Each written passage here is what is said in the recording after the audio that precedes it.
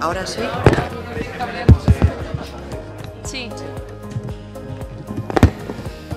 Egunon Gustioy, muy buenos días a todas y todos. Retomamos el debate del estado de la ciudad, como saben, eh, con eh, una primera intervención por los grupos eh, políticos de mayor a menor. En primer lugar, le correspondería el turno al Partido Popular y a la señora Comerón. Son 20 minutos, aunque seremos flexibles para que cada uno de los grupos políticos pueda marcar su posición de forma tranquila. Así que, señora Comerón, cuando usted quiera. Pues, buenos días a todos y a todas. Pues como decía señor Urtarán, estamos en el debate Estado de la Ciudad del año 2017 y a mí que ya me ha tocado estar en unos cuantos debates Estado de la Ciudad, bueno, pues recuerdo algunos eh, más divertidos de los que vivimos ayer. Y es que la verdad es que el señor Lazcoz eh, dejó un nivel muy alto y recuerdo cuando veníamos aquí siempre nos sorprendía con, con, algún, con alguna gran novedad. Un día nos anunciaba que iba a cubrir el centro con tejabanas, otro día nos decía que Zaramaga iba a convertirlo en el Soho.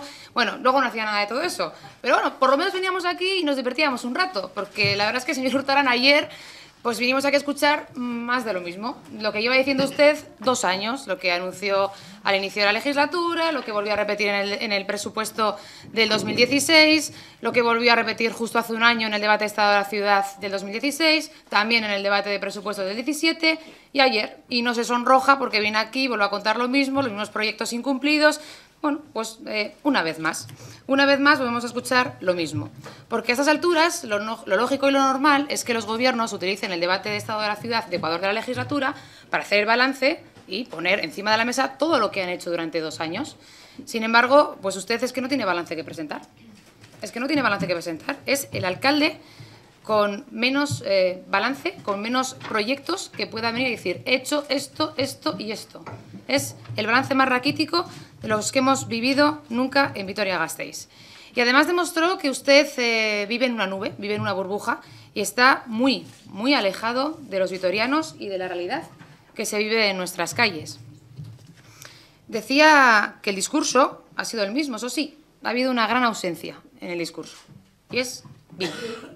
Bildu no ha aparecido en ningún momento en su discurso de ayer. De hecho, solamente mencionó a un grupo, al Partido Socialista, a quien le agradeció el que se incorporase al gobierno. No sé si aporta mucho o poco el Partido Socialista en este gobierno.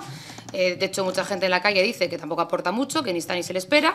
Pero bueno, no seré yo quien opine al, al respecto. Lo cierto es que bueno, se siente muy orgulloso de formar parte de, que forme parte de su gobierno, el Partido Socialista, el cual eh, le dio la espantada antes de, que se llegase a ese acuerdo de perdedores que le sitúa a usted en la alcaldía y, bueno, pues eh, deja de reconocer una realidad. Es que este gobierno sigue siendo absolutamente débil y que está dividido. Que está dividido en el lado del PNV y el lado del Partido Socialista. Y, de hecho, seguro que el señor López de Munain hoy hace una gran defensa del gobierno, pero de los departamentos que gestiona el Partido Socialista. Y, como decía, no está en, el, en la alcaldía por el apoyo del Partido Socialista, sino por Bildu, que fue el que le colocó. Porque usted quedó el tercero en las elecciones, perdiendo 1.500 votos entre los vitorianos. ¿Recuerda lo que decían los, las hemerotecas, lo que, lo que recordaban al día siguiente? Palabras textuales suyas. Los resultados han sido muy malos, muy lejos de las expectativas que teníamos. Y llamaba que tenía que haber una reflexión. La reflexión la hizo dos días después, cuando salió en rueda de prensa en este ayuntamiento a anunciar que dejaba la política municipal. Eso sí, a continuación salió la señora Larrión diciendo no importa que yo sea la segunda y que usted sea el tercero, tranquilo Gorka, que te hago alcalde. Y pues eh, era demasiado tentador para usted decir que no. Y aceptó esa alcaldía pues porque quería el poder por el poder, porque evidentemente no había nada detrás, no había ningún acuerdo con proyectos de ciudad ningún modelo claro de ciudad y hoy lo volvemos a ver. Pero en la vida hay que ser agradecidos y usted debería agradecer a Bildu y reconocerlo, cuanto menos, cuando hace balance de estos dos años, porque lleva acordando todo con ellos. Todo lo importante lo ha acordado con Bildu. Yo entiendo que Bildu pues, está despistado, porque claro, no es gobierno, pero tampoco es oposición. ¿Y cómo hacer oposición a alguien que hace políticas de Bildu? Y bueno, también están muy despistados los votantes del PNV, que claro, que no se sienten identificados con las políticas que lleva usted a cabo, porque insisto, es que sus políticas se parecen más a las que hizo Bildu cuando estaba en Guipúzcoa que las que hacen sus compañeros del Partido Nacionalista Vasco en otros sitios. Es que detesta igual que Bildu, las grandes infraestructuras y convierten al Departamento de Urbanismo en un departamento fantasma. Es que suben los impuestos. Es que incumplen la regla de gasto. Y todo esto de la mano de Bildu. Es que apoyan al independentismo. Están poniendo a Vitoria al servicio del independentismo y apoyando a los familiares de los presos de ETA con dinero de los vitorianos. Es que no promocionan la ciudad. Es que por no cubrir, no cubren ni, las, eh, ni los eh, puestos de policía, porque no les gusta. Cuando llega el PNV a Guipúzcoa, ahí elimina la RGI que se inventó Bildu. Pero cuando llega aquí usted, lo que hace es implementar una nueva RGI. Y tienen una clara seña de identidad, tanto los gobiernos de Bildu como usted, que es la obsesión que tienen contra el Partido Popular y contra todo lo que suene a Javier Maroto. Su gobierno, señor Hurtado, me entristece decirlo, pero tiene claros tintes sectarios, radicales y vacíos en la gestión.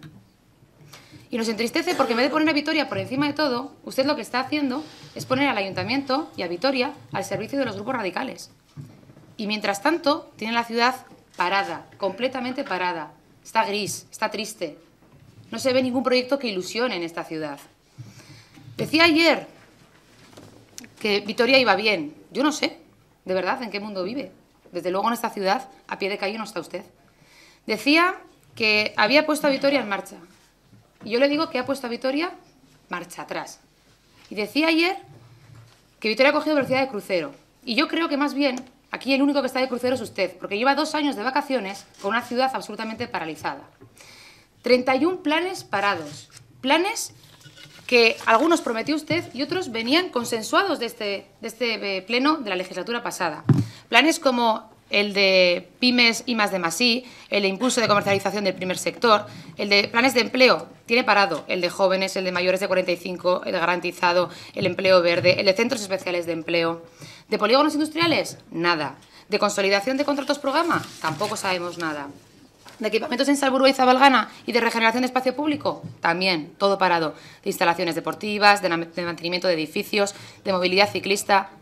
Tiene otros muchos retrasados el Plan General de Ordenación Urbana, de las fechas que nos dijo a lo que estamos viviendo hoy, de igualdad, de lucha contra el cambio climático, de lucha contra inundaciones, de gestión del arbolado o de accesibilidad, los llevan todos retrasados. Había que escucharles en la oposición cuando hablaban de estos planes y lo que hacen ahora cuando están en el gobierno. ¿Y de esas reformas de vía pública que nos anunció? ¿De los Serrán? Anda que no nos vendió los Serrán en campaña electoral. ¿De la Costa San Francisco y de Portal del Rey? Anda que no lo ha vendido veces en los periódicos, pero sin embargo todavía no está el proyecto en marcha. Del Boulevard de Arana, uy, también este lo vendió mucho, sí. O de Enrique Guren, o de incluso centros socioculturales de mayores que tenían los presupuestos, como el de Judimendi o San Martín, tampoco nada. Es que por no hacer, no hace ni lo mínimo que se le pide a un alcalde. Que tramite las licencias en tiempo y forma y están acumulando más retraso que nunca. Que se haga eh, inversiones en mantenimiento para tapar los baches, para arreglar los jardines, para las baldosas, para cambiar los bancos que hay que ver cómo está la ciudad. Y de limpieza, esta semana vuelve a ser la semana crucial para resolver el conflicto contra la empresa y los trabajadores, porque volvió a decir lo mismo, que defienda a Vitoria, que pone el interés, que va en contra de la empresa si nos quiere... Eh, da igual, la realidad es que no hay ni una solución planteada encima de la mesa y volverá a ser esta vez la semana crítica. Y también los trabajadores están cansados de eso. Y mientras tanto, como no tiene nada que vender, pues se adorna de datos positivos que ofrecen otros. Ayer vino a colgarse una medalla con los datos de reducción del paro y de creación de empleo. Lo hizo. Cuando son fruto de las políticas implementadas por el Partido Popular, por el gobierno de Mariano Rajoy, las que usted ha criticado. Y en cambio, viene aquí y se quiere colgar los datos de que Vitoria va bien también en empleo. Cuestión de la que nos alegramos y mucho, y mucho. Pero reconozca de dónde salen esos datos. Porque usted el empleo, ¿qué ha hecho? Reducir un 6% el presupuesto. Y en promoción económica, otro 6%. El apoyo a comercio, un 28%. Y de industria, como decía, directamente no invierten nada, no ejecutan nada de lo que acuerdan. No tiene modelo de ciudad y revende una y otra vez los proyectos. Proyectos que ni tan siquiera algunos son suyos, algunos los ha heredado y otros, para empezar, copia hasta el nombre, porque ahora nos viene con el proyecto de Masterplan para el centro, pero si el Masterplan era el proyecto de Javier Maroto para el 2011, eso sí, el proyecto Masterplan para toda la ciudad. Cambio usted nos habla ahora solo del centro y yo le digo que si quiere hablar del centro y si quiere hablar de cosas buenas para el centro, llevamos dos años diciéndole desde el Partido Popular que el centro tiene necesidades importantes que hay que acometer. De hecho, hace unos meses usted no pensaba que había que apostar por la rehabilitación en el centro. De hecho, fue a propuesta del Partido Popular donde se incluyó el, ensanche dentro de las eh, zonas preferentes para la ayuda a la rehabilitación. Propuesta del Partido Popular. Y nos alegramos de que esté en marcha. Del proyecto de Santa Bárbara, que también afecta al centro, evidentemente. ¿Cómo ha salido adelante? Gracias al Partido Popular, que además ha incluido 800.000 euros para que, del Gobierno vasco para que pueda completarse y pueda llevarse a cabo de forma íntegra como piden y reclaman desde hace años los vecinos y los comerciantes de la zona. Y si hablamos de otras cuestiones como el edificio de dato, el PP propone modificar el uso del edificio de dato para que pueda coger pisos y una tienda. Eso sí, julio del 2015. Y señor eh, eh, Hurtaran, claro que vamos a decir que sí a este, a este proyecto. Es que venimos diciendo dos años que sí. Revende los proyectos una y otra vez. Plan industrial, lo vende como si fuese algo nuevo, pero se iba hablando y prometiéndolo desde 2015. Y cero euros de inversión en estos años. De Green Smart Cities, nos vuelve a dar una nueva fecha, pero llevan hablando de ello desde 2015. De inversiones en espacio público, esta reconozco que me encanta. Porque ayer usted leyó, lo tenía premeditado y escrito y además lo deja. Hablando de inversiones en vía pública, dice, inversiones que este ayuntamiento ha puesto en marcha para regenerar y mejorar nuestro espacio público, nuestras calles y plazas. Todavía no se ha trasladado su efecto a las calles. Es que, eh, señor Hurtarán, para que se reformen las calles, se tiene que ver en las calles, porque si no se reforman las calles, no hay inversión que valga. Con lo cual, lo que usted está reconociendo aquí es que lleva dos años sin hacer nada en vía pública y lo deja por escrito. Y le parece normal y no se sonroja. Y viene aquí y nos vuelve a contar nuevos proyectos para reformar las calles de nuestra ciudad, cuando lleva dos años con todo parado. Coronación, simplemente diré, y lo dejaré ahí porque espero que no siga por esa línea, que nos preocupó su tono, en el cual ya empezaba a plantear dificultades eh, sobre la viabilidad del proyecto y empezaba a responsabilizar del éxito o fracaso del mismo a, los vecinos. Eh, espero que no vayamos por ahí. Otros proyectos como el de Alberto Sommer, el Museo de Alberto Sommer, que cada medio año cambia de ubicación. Es la única novedad que tenemos del proyecto, que cambia de sitio. Algo parecido le pasa al BRT, esta vez con el cambio del nombre, porque no vemos que, que vaya hacia adelante, sino todo lo contrario. Cuando llega la señora Tapia a analizar el proyecto en esta nueva legislatura del Gobierno vasco, lo que reconoce es que invertir 125 millones de euros en este proyecto no tiene ningún sentido, que el proyecto no es viable y que hay que repensarlo por completo. Y usted, eh, señor Hurtarán, pues lo quiere seguir manteniendo vivo, pero es que el, el BRT, según nos ha dicho la propia consejera, ni es viable, y yo le digo que tampoco es creíble. Y da igual cómo le llame, que le llame BRT, que le llame Bus Express, que le llame Ascarbus, o como le, que le llame mm, autobús eléctrico inteligente, como ha dicho ahora, como se le llama el autobús fantástico que no es creíble y que no es viable. Y que si realmente lo que quiere usted, señor Hurtaran, es que haya mejoras en el transporte público en la ciudad y que mejore tu visa, tira al Partido Popular. Pero es que se lo llevamos diciendo dos años. Que si quiere sacar adelante la reforma de las, de las nuevas cocheras, que estamos de acuerdo con el proyecto que está encima de la mesa y que estamos de acuerdo con la ubicación y que somos los únicos que estamos de acuerdo con eso. Que si lo quiere sacar adelante, que estamos nosotros para sacarlo y que si quiere sacar adelante la renovación de la flota de autobuses, la siguiente, la que hay que comprometer ya y que tienen que ser autobuses eléctricos, puede contar perfectamente con el Partido Popular, que se lo volvemos a ofrecer una vez más, que consideramos que es importante y que tiene nuestro apoyo si lo quiere. Si lo quiere. Y yo sé que usted dirá ahora, claro, que ya está el Partido Popular criticándolo todo. Y no es así, pero es que su discurso de ayer faltaba mucho a la, realidad, era muy diferente a lo que ocurre realmente. Y yo ya sé, señor Hurtarán, que un alcalde no hace ni todo bien ni todo mal, claro que sí, igual que las personas, nadie lo hace ni todo bien ni todo mal, ni usted, ni usted hace todo mal, tampoco.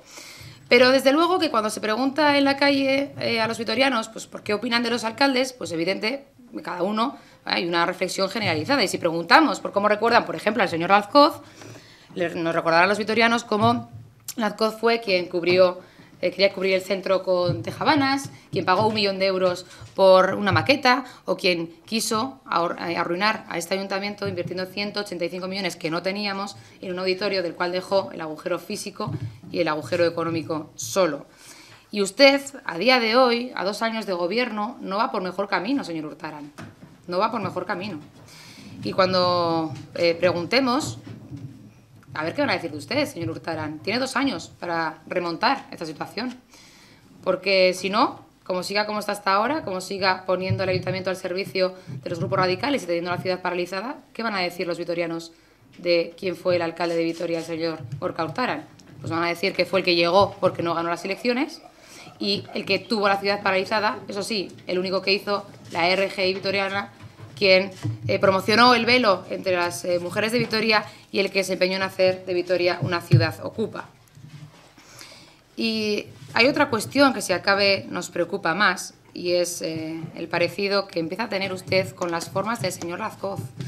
Porque el señor Lazcoz atacaba personalmente a sus adversarios políticos y utilizaba mentiras y tenía una clara obsesión contra todos nosotros. Y empezamos a ver esos dejes en usted. El último día lo vimos en, la comparecencia de Hacienda con los ataques que realizó a mi compañero señor Uriarte. Esperemos no verlo también hoy. Pero, señor Hurtarán, la obsesión contra el Partido Popular que le lleva a rechazar acuerdos buenos para Vitoria, que prefiere tener malos acuerdos o no tener acuerdos a sacarse una foto con el Partido Popular, no es buena ni para usted y sobre todo lo que nos preocupa a nosotros, no es bueno para la ciudad. Y si no, mire lo que ha pasado estos dos años, que tiene todo absolutamente paralizado. Somos el principal partido de este ayuntamiento y debería mirar más hacia nosotros si realmente quiere sacar adelante esta ciudad, porque ya ve lo que le supone ir con otros de la mano. A nosotros, a los concejales del Partido Popular, no nos gusta su modelo. Creemos que no tiene modelo. Pero no nos gusta las políticas que está haciendo más parecidas las que hace Bildu en Guipúzcoa eh, cuando estuvo gobernando que a las que debería hacer el alcalde de Vitoria-Gasteiz. No nos gusta que ponga al servicio del independentismo el Ayuntamiento de Vitoria-Gasteiz. No nos gusta que se destine nuestro dinero al apoyo a familiares de presos de ETA. No nos gusta que usted se empeñe en negociar y acordar con los ocupas. No nos gusta su empeño en implementar la RGI vitoriana. No nos gusta ese concepto en el que usted mira más hacia adentro y se encierra más en lo que es la ciudad en vez de sentirse orgulloso de Vitoria-Gasteiz y ponerla en el mapa y ponerla por encima de todo. Ayer cuando le estaba escuchando, lo que me parecía es que estaba escuchando, pues no sé, con todos los respetos, pero a un alcalde de un pueblo de 15.000 habitantes, porque los anuncios que hacía y los proyectos que hacía son más propios de un municipio pequeño y no de la capital de Euskadi, de una ciudad como Vitoria-Gasteiz que tiene más de 240.000 habitantes. Y nosotros nos creemos Vitoria-Gasteiz desde el Partido Popular y nos creemos a los vitorianos. Y creemos que en esta ciudad hay muchas oportunidades y muchas posibilidades. Y queremos que se aprovechen. Y no nos gusta ver esta ciudad paralizada. Lo que queremos es que se siga hacia adelante. Y tenemos un proyecto ambicioso. Y no nos gusta ver que los proyectos que pusimos en marcha ahora están metidos en un cajón. Queremos que vuelvan a salir. Queremos que se vuelvan a hacer proyectos que ilusionen en esta ciudad. Queremos que los vitorianos se sientan orgullosos de su ciudad y que haya eventos novedosos y potentes que pongan a Vitoria en el mapa y que cada vez que salgamos fuera de, Vitoria nos sintamos orgullosos de, de dónde somos y que, orgullosos de ver cómo el resto de gente conoce a Vitoria por cosas positivas. Y claro que es más fácil pues, estar en los despachos o estar en nuestras casas, especialmente en la oposición, pero nosotros tenemos una clara vocación y vocación de servicio, vocación por Vitoria. Y por eso hacemos nuestra ruta social, y por eso estamos a pie de calle, por eso metemos muchas horas, para estar con los vitorianos. Y muchas veces para escuchar cosas que no nos gusta escuchar. Pero eso sí, para saber lo que piensan, lo que quieren, lo que necesitan, cuáles son sus prioridades. Para luego venir aquí y decir las verdades. Y para luego venir aquí y decir esto es lo que ocurre en nuestra ciudad.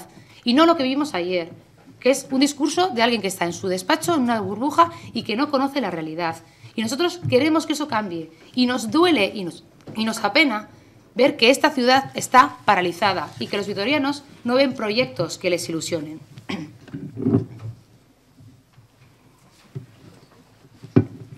Nosotros llevamos a Vitoria al corazón y no es un lema, es real, es real. Y el sacrificio que hacemos nosotros lo hacemos porque lo sentimos así, porque creemos que es lo que tenemos que hacer porque lo sentimos y porque nos apetece hacerlo bien y apostar por Vitoria Gasteiz. Y por eso, a pesar de que usted, supongo que volverá a decir lo que lleva diciendo dos años, que hablamos desde la herida, que queremos poner palos en la rueda, que queremos una ciudad paralizada, que nos gusta lo de que cuanto peor va la cosa, mejor nos va a nosotros. La realidad es que lo desmiente. Los hechos lo desmienten. Es que en cuanto hemos podido, hemos traído cuatro millones de euros del presupuesto del Gobierno vasco para Vitoria y que son proyectos que le van a venir bien a usted, porque le hemos salvado de muchos problemas, de muchos conflictos con asociaciones y nos da igual, porque es bueno para Vitoria, pues lo hemos apoyado. Igual que hemos apoyado el proyecto de Santa Bárbara. ¿Por qué es bueno para Vitoria? Lo hemos apoyado. Igual que apoyamos en su momento el que usted calificó como el proyecto más importante de la legislatura, que era la reparcelación de Zabalgana y de Salburúa para sacar adelante los colegios. Por cierto, que usted ayer anunció nuevos retrasos de los mismos. Y apoyamos un acuerdo del IAE con usted, que a los pocos meses incumplió. Y aquí estamos dispuestos a volver a acordar con usted el IAE. Porque si creemos que es bueno para Vitoria, nos tragamos nuestro orgullo y lo hacemos siempre que sea bueno para Vitoria y para los vitorianos. De la rehabilitación del centro, igual que de dato, pues ya le hemos dicho, lo hemos apoyado y lo apoyaremos, si es bueno para Vitoria y si usted mira hacia esta bancada. Habló ayer de tres proyectos estratégicos para Vitoria. La llegada del tren de alta velocidad, junto con el soterramiento, la plataforma logística de Jundiz y los buenos datos de Foronda. Reconozca que quién está detrás también, que está el Partido Popular, que está apoyando y apostando por Vitoria Gasteiz, reconózcalo, que no pasa nada, que está agradecidos y que es justo y que usted se va a llevar los méritos.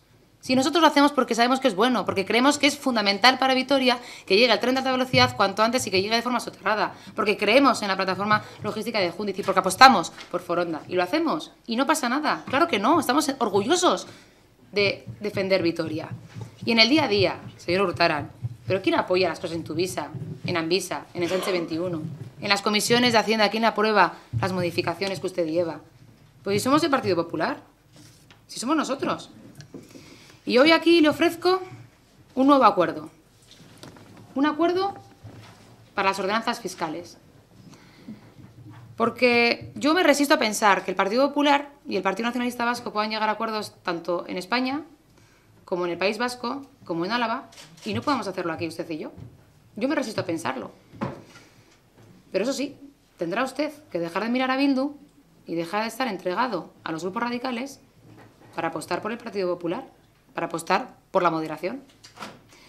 Y lo mismo, exactamente lo mismo que vamos a ofrecer todo el Partido Popular, el de Alfonso Alonso en el Parlamento Vasco o el de Iñaki Yarzabal y Ana Morales en Diputación, es lo que le ofrezco yo hoy aquí. Un acuerdo que vaya en la línea de apoyar a las clases medias, un acuerdo que vaya en la línea de apoyar a las familias y de apoyar a las empresas, a las empresas vascas, especialmente a las micropymes, a las pymes y a los autónomos. Y además nosotros también queremos meter la señal de identidad de nuestra ciudad, el medio ambiente.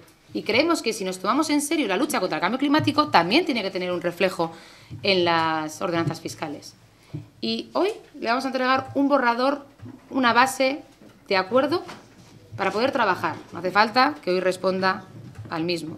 Pero le anuncio un poco las líneas en las que vamos, que insisto que son las mismas que plantea el Partido Popular a nivel autonómico y a nivel territorial. Yo quiero recordar que el FOFEL, que es el principal ingreso del Ayuntamiento de Vitoria-Gasteiz, del 2014 al 2017 ha subido 35 millones. Es decir, que el presupuesto de 2017, el presupuesto tenía 35 millones más que el de 2014, solamente vía ingresos FOFEL y que ya la previsión de recaudación es mayor. Y además, la Diputación nos anuncia que para el año que viene se prevé que haya incrementos nuevos en el FOFEL. Por lo tanto, si hemos pedido tanto esfuerzo a los vitorianos eh, durante la crisis, que se lo hemos pedido, es normal que ahora también les demos un respiro. Pero además, creemos que en el Ayuntamiento de Vitoria-Gasteiz, y usted lo dice y nosotros lo compartimos, hay que analizar las tasas y los precios públicos. Nosotros apostamos por una bajada en la presión fiscal, pero también dispuestos a revisar una a una las tasas y los precios públicos, porque estamos convencidos de que hay muchos que están por debajo de los costes que tiene el ayuntamiento a la hora de ofrecer esos servicios. Y lo que creemos es que hay que revisar todos y llegar pues, posiblemente a calendarios eh, de subidas eh, progresivas para todos ellos. Eh, le voy a ofrecer aquí el documento, insisto, no es para que, para que lo, para que lo analice hoy y opine hoy sobre el mismo, le pido que lo reflexione, que lo estudie y que sobre todo nos emplacemos para más adelante. Verá si echa un vistazo por encima, que no estamos hablando de bajadas generalizadas de, de, los impuestos, ni mucho menos. Desde luego tampoco hablamos de subida, ni mucho menos. Lo que hablamos es de un debate serio para afrontar la fiscalidad en Vitoria-Gasteiz en la misma línea en la que va el Partido Popular en el resto del País Vasco. Y que de usted depende si quiere, mirar hacia esta bancada o si quiere mirar, seguir mirando a la bancada de Bildu. Y termino eh, recordando pues, lo que hemos hecho aquí, que es eh, decir sí a tres grandes proyectos. Al proyecto de dato, al proyecto de renovación de la flota de autobuses y las cocheras de Tuvisa y ofrecer un acuerdo para las ordenanzas fiscales. Y en su mano está, y si también quiere decir sí. Pero aún así, es evidente que llevamos dos años de retraso y de parálisis y que a usted le queda mucho y que a Vitoria le queda mucho para recuperar el tiempo perdido. Y por eso le digo y le recomiendo que usted piense en que le va a ir mucho mejor a Vitoria si mira más a esta bancada y si decide eh, tender a la moderación. Y yo le digo, y se lo vuelvo a decir y se lo digo de corazón, que, que si usted va más a la calle, pisa la calle, escucha a los vitorianos, si usted defiende los intereses de los vitorianos y los pone encima de la mesa, nosotros le vamos a apoyar. Le he dicho muchos ejemplos en los que hemos apoyado y seguiremos apoyando si va en esa línea. Pero deje de rechazar al Partido Popular porque no soporta una foto con nosotros. Ponga a Vitoria por encima de todo y le aseguro que ahí vamos a estar porque nosotros siempre hemos puesto a Vitoria por encima de todo y lo seguiremos haciendo. Y le animo a que dos años después se dé cuenta de la realidad y si quiere sacar de la parálisis a Vitoria Gasteiz, ahí contará con nosotros. Y si no, seguirá teniendo enfrente al Partido Popular para denunciarlo. Así que vaya por el buen camino, vaya por el acuerdo con el Partido Popular, el acuerdo mayoritario y, sobre todo, y lo más importante, vaya por la defensa de los intereses de Vitoria Gasteiz. Muchas gracias. Muchas gracias a usted, señora Comerón. empleado 26 minutos, dentro de lo que tenemos es la flexibilidad en este primer turno para poder plantear eh, las cuestiones por grupo. Corresponde ahora el turno a la señora Larrión, Larrión Anderea, nahi duzunian. Bai, eskerrik asko alkate jauna eta egun on guztioi gaur iriaren eztabaida egitera etorri gara. Bi urte pasa dira eta bi urte ditugu aurrean, erdian gaude beraz. Legealdiaren erdian, eta nik esango nuke gazteizko kasuan ere legeldiaren ekuadorra pasatzea gaudela. Ekuadorra pasatzea hemisferios aldatzea ere dakarrain batetan, iparraldetik egoaldera edo alderantziz. Eta gazteizko udal honek honetan ere bai hori gerta daiteke. Orain dela bi urte, udal batza honen osaera ilusioz betetako ekimena izan zen. Eta eta hori, aurreko ostiralean gora gazteizeko partaideak ondo gogorazi ziguten. Gogoratzen alduzue orain dela bi urte gazteizen gertatu zena, zenik oso ondo. Boska sistren batzuen truke, merke, e, mesusatik atzaile abiatu zenean, gazteizko jende askok erantzun zuen. Batzuk atzera begira jarri beharrean, aurrera begira jarri ziren. Gazteizko mugamentalak hautziz. Gazteiz zer izan zitekena askatu zuten, ireki egin zuten. Gazteiz anitza aldarrikatu zuten, esparro guztietako jendea, gizarte, kultura, arte, kirola, esparro guztietakoak batu ziren. Gai izan ziren modu positibo batean, aldarrikatzeko hiri anitza, solidarioa eta bidezkoa sortuko eta defendatuko zutela eta 2008ko opirilean, egun batez, iriaren txoko guzti guzti guztietan kolorea bete ziren.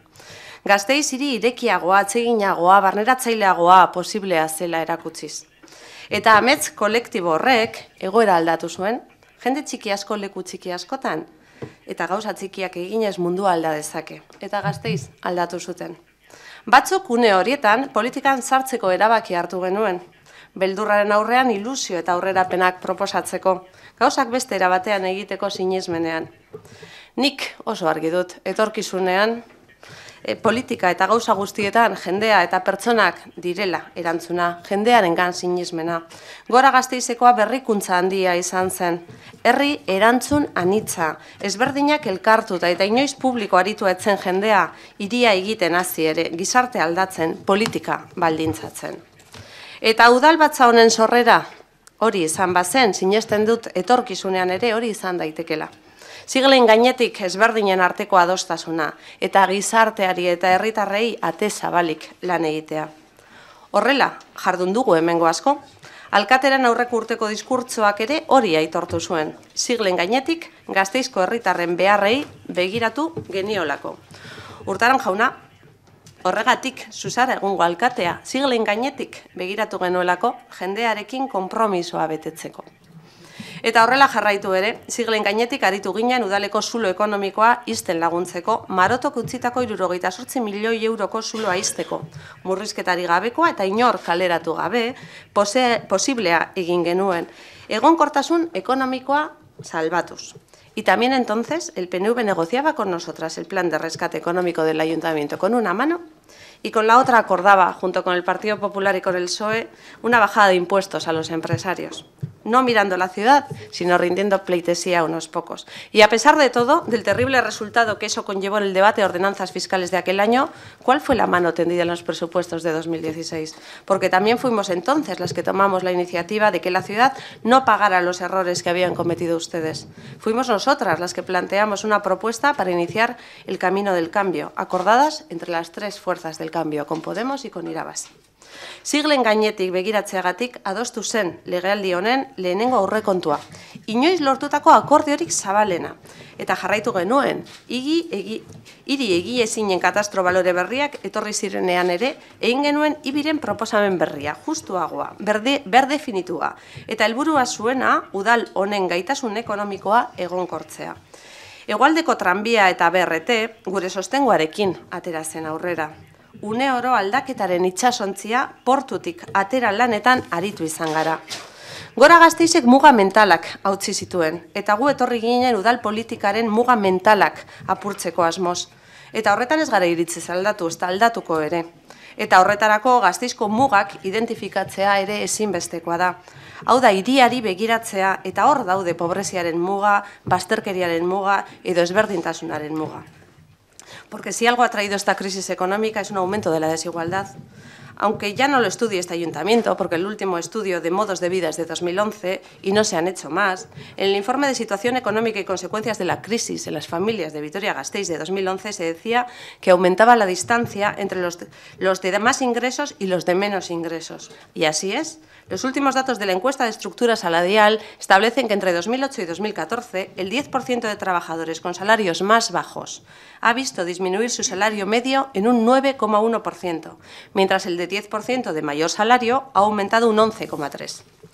La situación económica general, la macro, se va recuperando. La macro, señora Comerón, no es fruto de Rajoy, pasa en toda Europa. El Producto Interior Bruto ha aumentado, con efectos positivos, aunque no proporcionales, en el empleo. Pero la situación de muchos vecinos y vecinas es peor de la que tenían antes de la crisis. Algunos creemos que la política no debe usarse para dar más al que más tiene, sino para redistribuir lo que en el fondo es de todos y todas.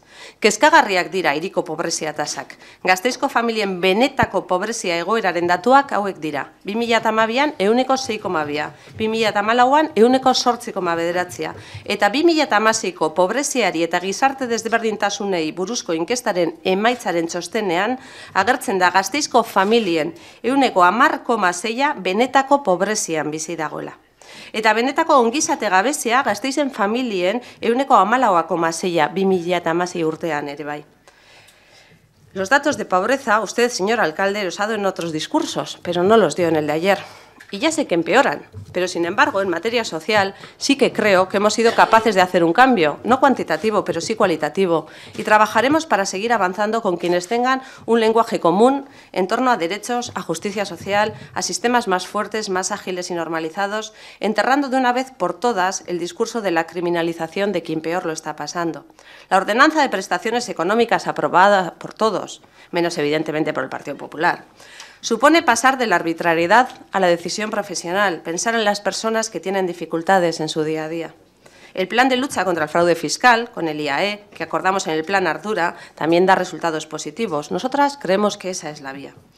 En Gasteiz también hay un problema de segregación escolar, con casos de alumnado de origen extranjero superior al recomendado por el Gobierno vasco, fijado en un 30%. En Gasteiz, la proporción de personas nacidas en el extranjero es del 11,8, llegando en algún caso en algún barrio al 17. Y sin embargo, hay centros que superan el 30%, llegando incluso al 80%, mientras en otros centros del mismo barrio la proporción es la inversa. Aquí también impulsamos y creamos una mesa de trabajo que nos ha planteado desde el consenso de todos los agentes una serie de medidas que aprobamos entre todos. También eso es positivo. Ahora, señor Hurtarán, le queda llevarlas a cabo. Hablar, dada esa excelente relación institucional de la que ayer presumía con el Departamento de Educación, para hacer realidad la Gasteiz multicultural que respete la convivencia y la integración. Sigamos con la foto de la ciudad. ¿Qué nos muestra? Un alcalde muy distante, muy alejado del resto. Ayer hablaba de la vía El alcalde te escucha, desde luego no a sus trabajadores municipales, esos que sacan la ciudad en el día a día adelante, ni desde luego a las voces plurales que defienden el proyecto de Recaleor, aunque sí escuche a los directivos de FCC de Madrid, esa empresa que no limpia, incumple, judicializa las relaciones y no readmite a los trabajadores despedidos. No es conveniente ser fuerte con el débil y débil con el fuerte, así no cambiamos la ciudad. Un alcalde que no hace frente a los problemas que tiene o que genera. Porque en el ha sido usted, señor Hurtarán, el que ha generado un problema donde no lo había, que además incumple la obligación de este ayuntamiento de prestar los servicios básicos como el alumbrado. Pero usted incumple tantas promesas. ¿Se acuerda usted de aquel primer discurso del debate general de política municipal? Usted se comprometía en 2015 a hacer de esta la legislatura del cambio. Cambio en la forma de hacer política y en la forma de hacer ciudad, de la necesidad de dar un giro de 180 grados a la política local. ¿Por qué no creía en ello? Usted marcaba el primer reto de legislatura, el de consolidar la convivencia. El compromiso fue aprobar el primer plan de convivencia y diversidad en junio de 2016. En junio de 2016 lo retrasó a diciembre. Y hoy, dos años después, no solo nos lo revende, sino que no dice que no tiene ningún consenso, sino todo lo contrario. También nos revende el plan de igualdad, sin comentar tampoco que los colectivos feministas no van a participar porque el Gobierno menosprecia y no tiende sus aportaciones. El Plan General de Ordenación Urbano ya ni lo revende, lo retrasa y punto. Los planes de empleo también queríamos ser ambiciosos en el empleo. Había un plan para el trienio 2016-2018 de 1,14 millones de euros. ¿Dónde está el plan, el dinero, los resultados? Falta ambición, faltan apuestas y sobre todo falta firmeza al hablar de empleo. Porque no vale cualquier empleo, sino el empleo digno y de calidad, como lo define la OIT. El empleo que genera un ingreso justo, la seguridad en el lugar de trabajo y la protección social para las familias e integración social. ¿Nos comprometemos a que todo el trabajo que dependa de este ayuntamiento sea así? ¿El directo, el de contratas y subcontratas? ¿Cómo están, por ejemplo, en estos momentos las campañas de verano en Mendio Gamarra? porque eso nos llevaría a remunicipalizar todos estos servicios públicos. Una gestión directa que garantizara la calidad del servicio y la calidad del empleo. Y esa es la vía para los ayuntamientos que buscan el bien común y desde luego es la que le hemos ofrecido junto con Podemos e Irabasi. Y Hurtarán ha rechazado. Hablaba de un plan de ayudas a la rehabilitación de viviendas. En realidad no existe un plan. Lo que existe es una norma de ayudas a la rehabilitación. En el discurso de ayer, también en movilidad, ha abandonado ese planteamiento global, el de ejes, para empezar a hablar de partes. Cuando defiende la parte, pierde usted el todo, mientras que en el todo se incluye la parte. Eso es tener visión de ciudad. Eso acordamos y eso lo ha abandonado. Gauza jakina da, konfiantza galdearekin inflexio puntua egon zela. Urtaran jaunak, udal honetan inoiz egon den krisi egoerarik handiena ireki zuen, bere nahiak asetzeko. Irian, udalean, krisia sortzea merezi aldu, zurearekin aurrera ateratzeko, el fin justifica los medios, su fin justifica cualquier medio. Le dijimos también en aquel momento que podía ir solo y más rápido, o ir en grupo y llegar más lejos. Y él, o su partido en Bilbao, escogieron el camino. Solo, pero no para ir más rápido, ni para defender los intereses de la mayoría, sino sus intereses partidistas. Y hemos ido entendiendo por qué le quiso dar alas al Partido Popular con aquella moción de confianza. Necesitaban cortar amarras con los que defendemos los intereses de la mayoría, cortar con los compromisos, tal y como vivimos en el discurso de ayer. Y desde entonces ha aumentado sus decisiones para mejorar los intereses de unos pocos, como los de FCC, porque no ha defendido los de la ciudad. Eta gehiengoa zer nahi duen jakitea erreza da, galdetzea besterik ez, hori da parte hartze prozesuetan gertatzen dena. Gu pentsatzen dugu, hartzen diren erabakiak herritarren nahiarekin lotuta egon behar dutela. Eta legeldi honetan, gazteizko herritarrei ausogunetan, elkargunetan, gazteizo betu zen deialdian parte hartzera animatu dugu. Jende askok ilusioa izan du eta konpromiso hartu egin du prozesu luzeetan parte hartzeko. Baina ze gertatu da? Gazteiz hobetuz programarekin hitza ez betetzea. Urtero hiru milioi agindu zen, talde guztietan adostu zen, eta alde bakartasunez, udal gobernuak erdira jaitzi egin du. Egoera ez dago bea, hainbat auzogun eta elkargunetan. Elkargunetan eztabaidatu eta landu diren zenbat plan eta proposamen inguruan eragileak kexak aurkeztu dituzte. Beraien ekarpenak aintzat ez hartzeagatik lana eskatu eta gero alperrik izatea, edo gobernuak hartutako konpromisoak ez betetzea. Etorri ginen politika aldatzera, egiteko erak aldatzera, gazteizko mugak zabaltzera. Hau aldabidea? Lo que ha dejado de hacer, además, nos lo revende. Ayer, otra vez, el Consejo Ciudadano de la Transparencia. Lo anunció en 2015. El año pasado ya os dijo que la segunda quincena de agosto se iba a constituir y se ha acabado constituyendo el 19 de mayo de 2017. Los proyectos anunciados en 2015 se siguen retrasando. El BRT o Ascarbus, que defendimos y aprobamos, y vemos que ya nos empieza a hablar de 2018. Veremos. Desde luego, si depende del Partido Popular, no va a salir. Y el Café Anchoquia sigue pendiente. El año pasado proponían un pacto económico que incluye implementar medidas para reducir gasto eliminando ineficiencias. Tampoco se ha llevado a cabo. Euskal Herria Bildu solicitó en febrero una moción, la puesta en marcha de un grupo de trabajo para hacerlo, se aprobó y sigue sin convocarse. Usted, señor Hurtaran, también habló ayer del proyecto Smart City, de rehabilitación del barrio de Coronación, de subvenciones desde Europa inéditas en un proyecto de rehabilitación, que es una oportunidad que no se puede escapar. Y mire, estoy completamente de acuerdo. Si esto lo quiere hacer, nosotras siempre hemos estado dispuestas a ayudar y vamos a estar dispuestas a ayudar. Déjese de marketing y de ensoñaciones, arremanguémonos, hagamos lo posible. No tiene el visto bueno de los vecinos. Haga frente al menos a ese problema para poder resolverlo. Con los vecinos y vecinas hay que hablar y eso ante todo es escuchar. Si no se apuntan, tendrán una buena razón. Hay que escuchar, hay que negociar, hay que aceptar, hay que identificar los obstáculos, escuchar qué necesidades y temores tienen. Señor Hurtaran, haga al menos eso, hagámoslo, porque llevamos dos años de estancamiento, dos años en los que nos revende los mismos planes y proyectos. Las promesas de ayer son calcadas a las del año pasado y a las de hace dos. Han sido años de estancamiento. En definitiva, señor Hurtaran, que en este paso de Ecuador de la legislatura sus palabras dicen lo contrario a la realidad.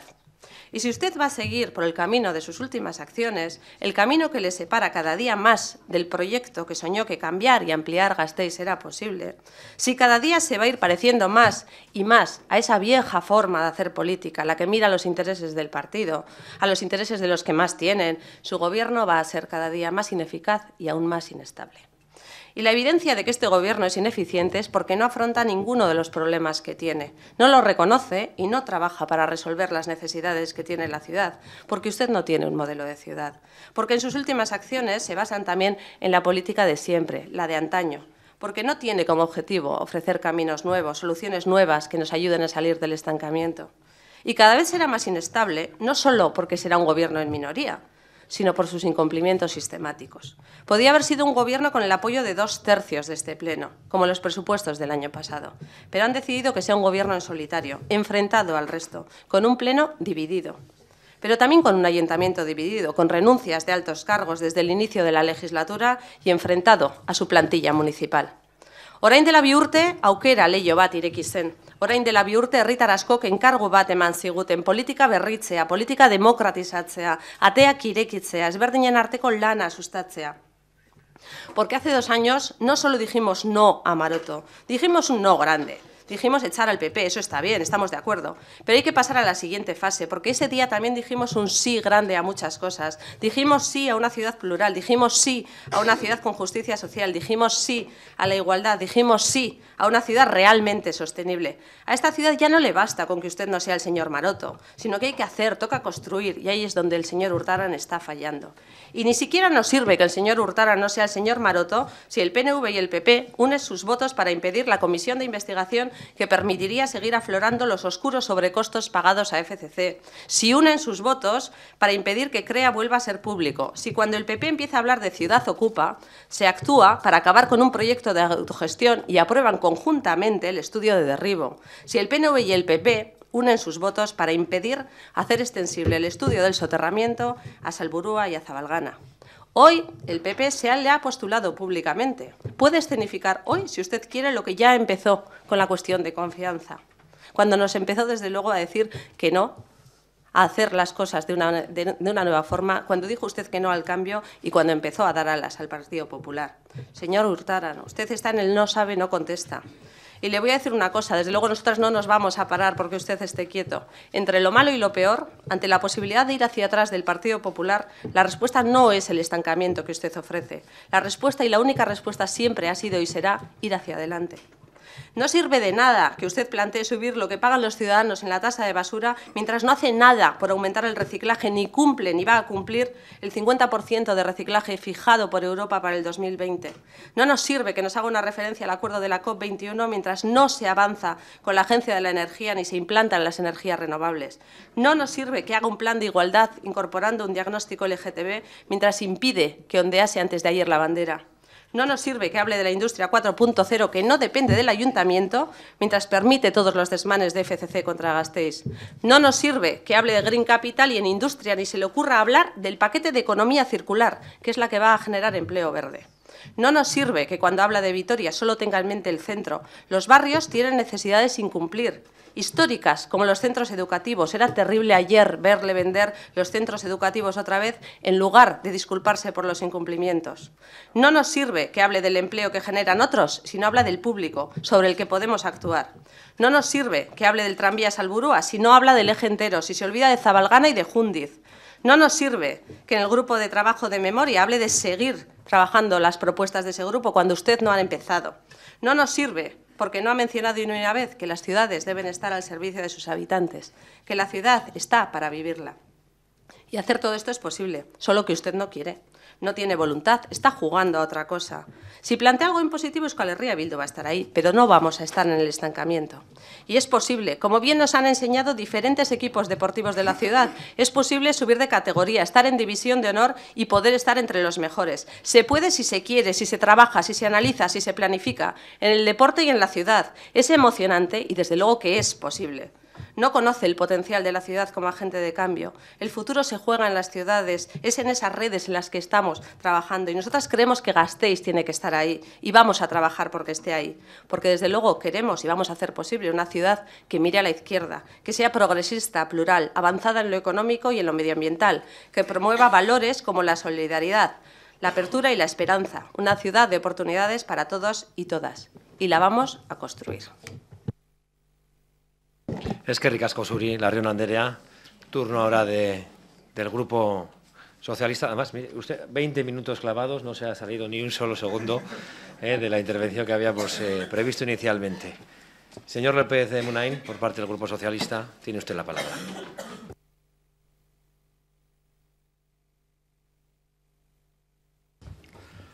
Gracias, alcalde. Alcalde, compañeros, compañeras de corporación, buenos días. Este ayuntamiento lleva dos años demostrando que a través del diálogo se puede dar un giro de 180 grados a la forma de gobernar.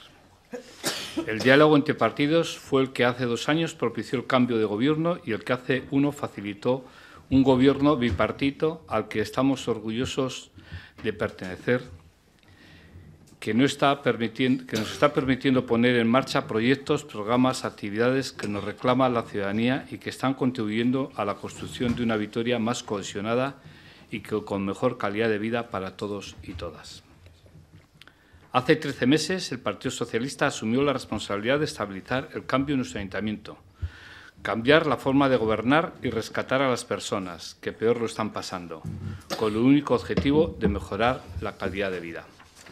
Un año después podemos decir que lo estamos consiguiendo. Hemos dado estabilidad al Gobierno, hemos dado confianza a la ciudadanía, hemos puesto a las personas en el centro de la actividad política del Ayuntamiento. Ha sido un año para demostrar que, un gobierno plural, conformado a través del diálogo, se puede convertir en un elemento dinamizador y cohesionador. Ha sido un año para demostrar que más allá de las diferentes políticas que puedan existir y existen, prevalece la responsabilidad de encontrar puntos de encuentro para el diseño de políticas al servicio de la ciudad y no al servicio del Gobierno. Porque nosotros nunca pensamos en la rentabilidad particular, siempre hemos pensado en la ciudadanía. Y así ha sido siempre y así será, porque el Partido Socialista es una izquierda responsable, una izquierda que suma, lo demostramos firmando primero un acuerdo de gobernabilidad y después sellando un pacto de gobierno. Y de la suma surgen acuerdos que han permitido, que han permitido la puesta en marcha de proyectos muy importantes. Ampliación del tranvía, renovación de la flota de Tuvisa, estudio e implantación del bus eléctrico inteligente, diseño del plan estratégico de cultura, elaboración de una nueva ordenanza de prestaciones sociales, desarrollo de un nuevo modelo de participación ciudadana que ha convertido a Vitoria en un referente. Esto es lo que quiere la ciudadanía, gobiernos que solucionen problemas. La ciudadanía no quiere la crítica barata con la que algunos buscan el enfrentamiento. Esa forma es parte de la vieja política. Nuestro escenario no es el desencuentro, sino el pacto. Nuestra estrategia no es poner palos en las ruedas, sino facilitar el entendimiento. Así es como se genera estabilidad y se beneficia a la ciudad. Así lo entendemos desde nuestra responsabilidad de Gobierno, con la que hemos puesto en marcha programas, proyectos y servicios.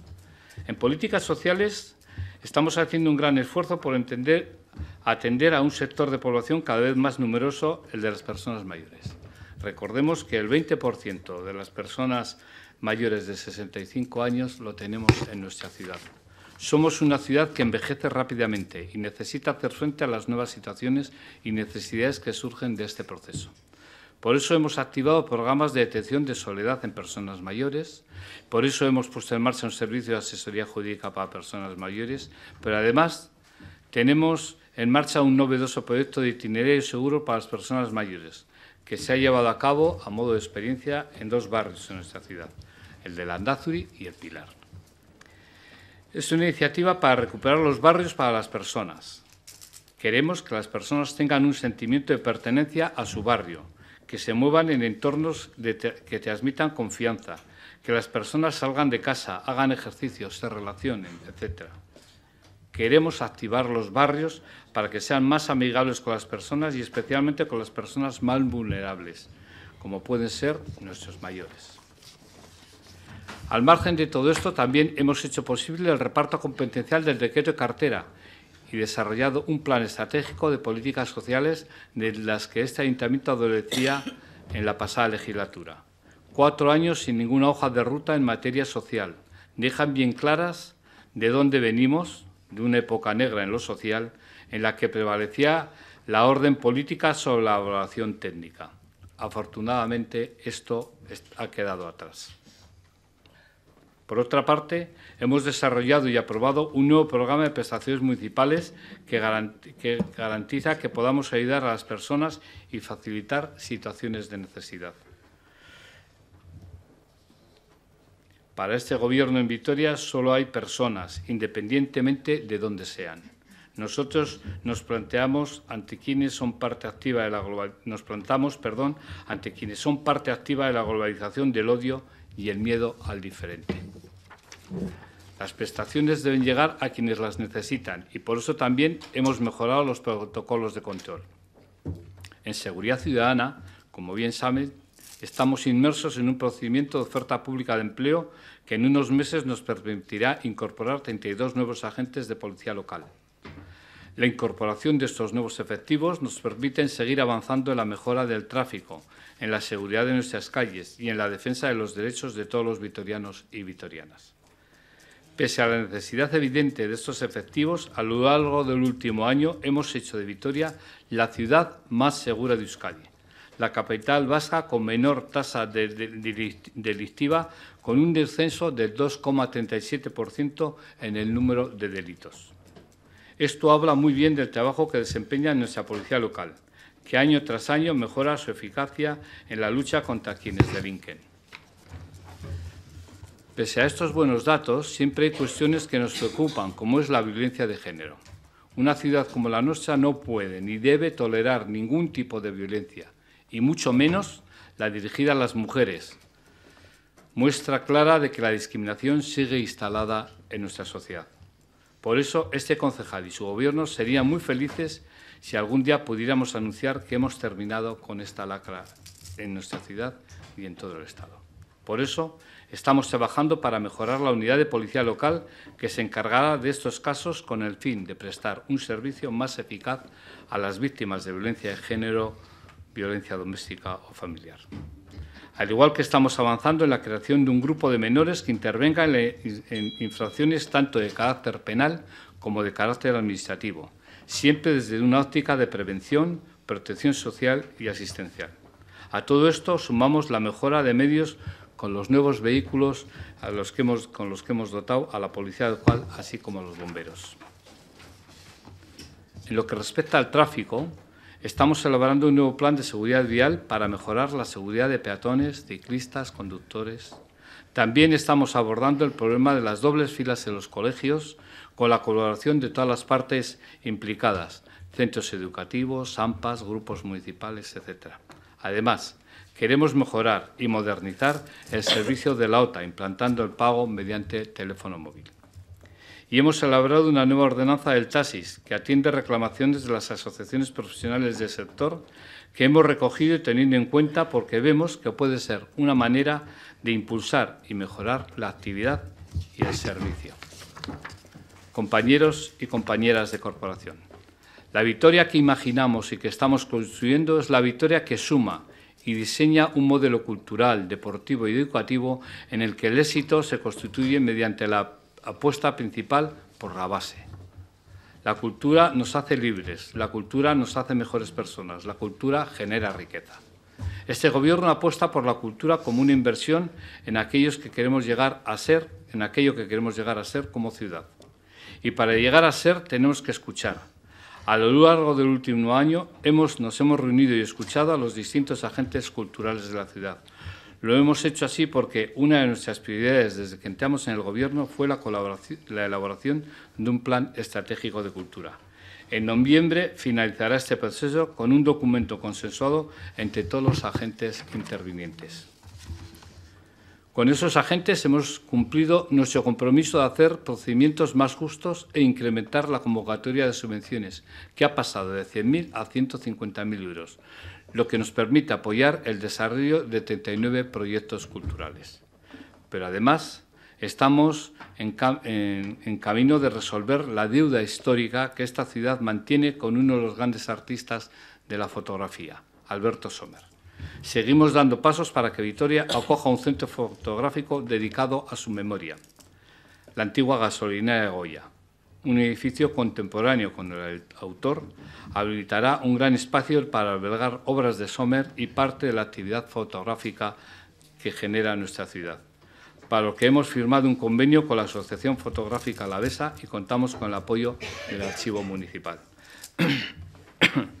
Sin duda alguna, este centro será una magnífica puerta de entrada para las personas que nos visitan y Alberto Sommer un estupendo anfitrión de nuestra ciudad.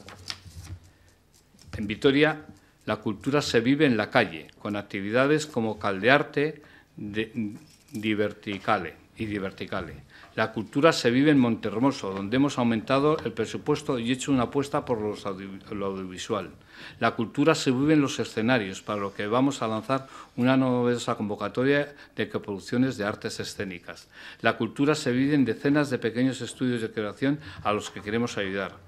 La cultura se vive en la Escuela Municipal de Música Luis Aramburu, donde hemos incrementado su presupuesto en 200.000 euros. La cultura se vive en un teatro principal centenario y necesario una remodelación que, convierta, que se convierta en más accesible, más cómodo para las miles de personas que cada año ocupan sus butacas y con mejores medidas para albergar las obras que llegan a nuestra ciudad de las incomodidades y necesidades del teatro principal se ha hablado mucho en los últimos años, pero la realidad es que no se ha hecho nada. Sin embargo, este Gobierno asume la responsabilidad de devolver al teatro principal su esplendor y por ello es por ello que el próximo mes de julio tenemos previsto sacar a concurso desde el Servicio de Cultura el estudio para que nos dé claves en su reforma. También en infraestructuras deportivas tenemos una necesidad que debemos resolver lo antes posible, para que no se nos pase factura a corto y medio plazo. Me estoy refiriendo al estado de los campos de fútbol municipales, donde cada día entrenan y juegan miles de niños y niñas de nuestra ciudad. La mejora de estas instalaciones lleva parada más de ocho años y la hemos desbloqueado con el inicio del expediente de contratación de la reforma del campo de fútbol del Aqua 03, por un importe de 900.000 euros. Este es el punto de partida de lo que va a ser un ambicioso plan de reforma de nuestros campos que presentaremos próximamente a la Federación y a los clubs para contar con su opinión y sus aportaciones. En educación hemos realizado el plan estratégico para profundizar en los principios de la Carta de las Ciudades Educadoras que Vitoria firmó hace años. Hemos participado intensamente en la mesa de integración con los agentes educativos, donde se ha conseguido una hoja de ruta destinada a combatir la guetización de las escuelas. Hemos realizado y vamos a realizar obras necesarias en las escuelas infantiles municipales que se venían reclamando hace años. Sin ir más lejos, hoy hemos aprobado en la Junta de Gobierno la mejora de accesibilidad en la Escuela Infantil de Zaramaga con la instalación de un ascensor. Alcalde, concejales y concejalas. Si por algo se caracteriza la acción política del Gobierno al que pertenece mi grupo es por el protagonismo necesario y merecido que hemos dado a la ciudadanía en la forma de tomar decisiones. Ahora la voz de los vecinos y vecinas se escucha mucho más que antes. Es una de las líneas estratégicas de nuestra actuación municipal y frente al ruido de las críticas y la presión que solo ponen en juego la credibilidad del sistema por una cuestión de partidismo puro, nosotros seguimos apostando por poner un altavoz a las peticiones y proyectos de los vecinos. Y en este sentido ya hemos puesto en marcha el proceso de presupuesto participativo para 2018-2019, después de que este año se seleccionaran 15 proyectos de los 67 votados por la ciudadanía en 2016. Todos estos proyectos están iniciados. Seis ya están en fase de licitación y los otros nueve proyectos están terminando de elaborar los pliegos para sacar los concursos o convocatorias de licitación que correspondan. Pero además, el programa Mejorando Vitoria Gasteiz Obetus también hemos revisado y modificado los órganos de participación ciudadana y, hoy los elcargunes y ausogunes tienen mucha más participación. En ese, sentido, acabamos de aprobar la creación del elcargune de infancia y próximamente crearemos el ausogune de Zabalgana. Hemos modificado el reglamento de pleno para que la ciudadanía pueda registrar mociones directamente. Hemos modificado el registro orgánico de participación ciudadana adaptándolo al nuevo modelo de participación. Hemos puesto en marcha el Consejo Social y hemos organizado la primera Escuela de la Ciudadanía que pretende dotar de más herramientas de empoderamiento y participación a la ciudadanía. Todas estas acciones forman parte del compromiso de los socialistas para desarrollar las líneas de participación y construir un ayuntamiento abierto y transparente, un ayuntamiento que se abre a la ciudadanía y que practica la escucha activa. Por cierto, este modelo de participación es referencia en el conjunto de España. Lo hemos difundido en diferentes charlas que hemos ofrecido en Donostia, en Alicante, en Valencia, en Madrid, en Barcelona. Y con respecto a los centros cívicos, saben que ahora estamos inmersos en el procedimiento de equipación del Centro Cívico de Zabalgana, que abrirá sus puertas en unos meses. Con la apertura de estas instalaciones queda completada la red de centros cívicos de la ciudad. En cuanto a la Administración municipal, seguimos sumidos en el reto de adaptación de medios, de estructuras y tecnologías para cumplir los distintos requerimientos normativos y avanzar en la Administración electrónica. Estamos renovando equipos. Estamos dando soporte y fomento a la participación y transparencia municipal. Estamos dando soporte a la lucha contra el fraude fiscal. Estamos modernizando los servicios administrativos para responder a las demandas ciudadanas. Estamos simplificando procesos. Por otra parte, en mantenimiento, además de mejorar nuestros edificios e instalaciones, seguimos priorizando alternativas para optimizar el, consumo de energía. Esto nos ha llevado a obtener recientemente el certificado AENOR por la gestión energética de nuestros edificios, donde en los últimos años hemos reducido un 28% el consumo de energía térmica y un 40% las emisiones de CO2 a la atmósfera. Actualmente, el 15% de la energía térmica consumida por los edificios municipales es de origen renovable. Con estos datos podemos decir que Vitoria está a la vanguardia de la lucha contra el cambio climático. Compañeros y compañeras de corporación, todo lo que les he relatado aquí es parte del trabajo realizado por este Gobierno a lo largo del último curso político. Es parte de la labor realizada por mi grupo en las áreas de gestión desde que hace un año asumimos la responsabilidad de gobernar. Desde hace un año asumimos la responsabilidad de sumar en la gestión para facilitar el cambio de implicaciones para hacer posible ese giro de 180 grados que les citaba al principio de mi intervención. Entonces, el Partido Socialista se mojó por escrito para dar estabilidad al Gobierno y a la ciudad y a los vitorianos y vitorianas y a día de hoy estamos orgullosos de que se vayan cumpliendo los objetivos marcados. Estamos orgullosos de haber garantizado los servicios públicos y los derechos sociales. Estamos muy orgullosos de haber demostrado que desde el pacto, desde el acuerdo, se puede hacer buenas prácticas al servicio de la ciudadanía. Nosotros hemos querido estar en los acuerdos porque se nos esperaba y otros se les esperaba, pero no están en los acuerdos. Y esto es lo que debemos cambiar. Entre todos debemos ser capaces de trabajar por, el consenso, porque Vitoria es una magnífica ciudad, pero puede ser mejor con la ayuda y el trabajo de todos y todas. Muchas gracias. Muchas gracias a usted, señor López de Munain. También ha estado en el tiempo previsto inicialmente, por debajo de los 20 minutos incluso. Ahora corresponde el turno al señor Hinojal del Grupo Podemos, cuando quiera. Muchas gracias. Intentaré estar también en el tiempo. Eh, egunon a todas y a todos. Egunon, señor alcalde. Hoy nos toca hablar con usted directamente, porque hoy esta corporación le somete a examen a usted y a su modelo de ciudad. Le adelantamos que no vamos a ser condescendientes, pero también le diremos que seremos constructivos. Es lo que Podemos lleva haciendo desde que llegó a este ayuntamiento y contribuyó a que usted se sentara en esa silla. Nunca hemos ruido de nuestras obligaciones. Usted tiene la vara, de la vara de mando porque no podíamos permitir que el Partido Popular la siguiera usando para golpear los instintos más bajos de la ciudadanía y rompiera la convivencia de esta ciudad. Creíamos que, eh, que, esa decisión era un mal menor y seguimos convencidos de ello. No fue un pacto de perdedores, como siguen diciendo esos que se pasaron de listos y estiraron la cuerda hasta romperla. Fue un pacto de responsabilidad. Desde entonces sabemos que tenemos el deber de hacer todo lo posible para que nuestra voz, la de las personas que nos votaron, esté representada en las políticas que se sacan adelante. El problema es que usted y su gobierno, con el PSE de muleta y sin ideas propias, nos lo está poniendo realmente difícil. Francisco de Quevedo dijo una vez, nadie ofrece tanto como el que no va a cumplir. Usted habla, cuando usted habla nos echamos a temblar, porque se ha convertido en el alcalde de las promesas. Promete muchas cosas, algunas que nos gustan y otras que nos echan para atrás. Las que no nos gustan no terminan de llegar. Aún estamos esperando a que ponga en venta Gurechocoa para activar el compromiso presupuestario que alcanzamos este año. Ese compromiso que hace dos semanas dijo que iba a cumplir. Y las que nos echan para atrás son las que cojean del pie derecho. Esas siguen adelante con el pie firme. Vamos a, hacer un, vamos a intentar hacer un repaso por departamentos, porque queremos ponérselo muy fácil para contestar, porque mantenemos nuestro empeño de buscar espacios de encuentro. Empezaremos por urbanismo porque es la chistera de la que ha salido su último conejo, el Masterplan.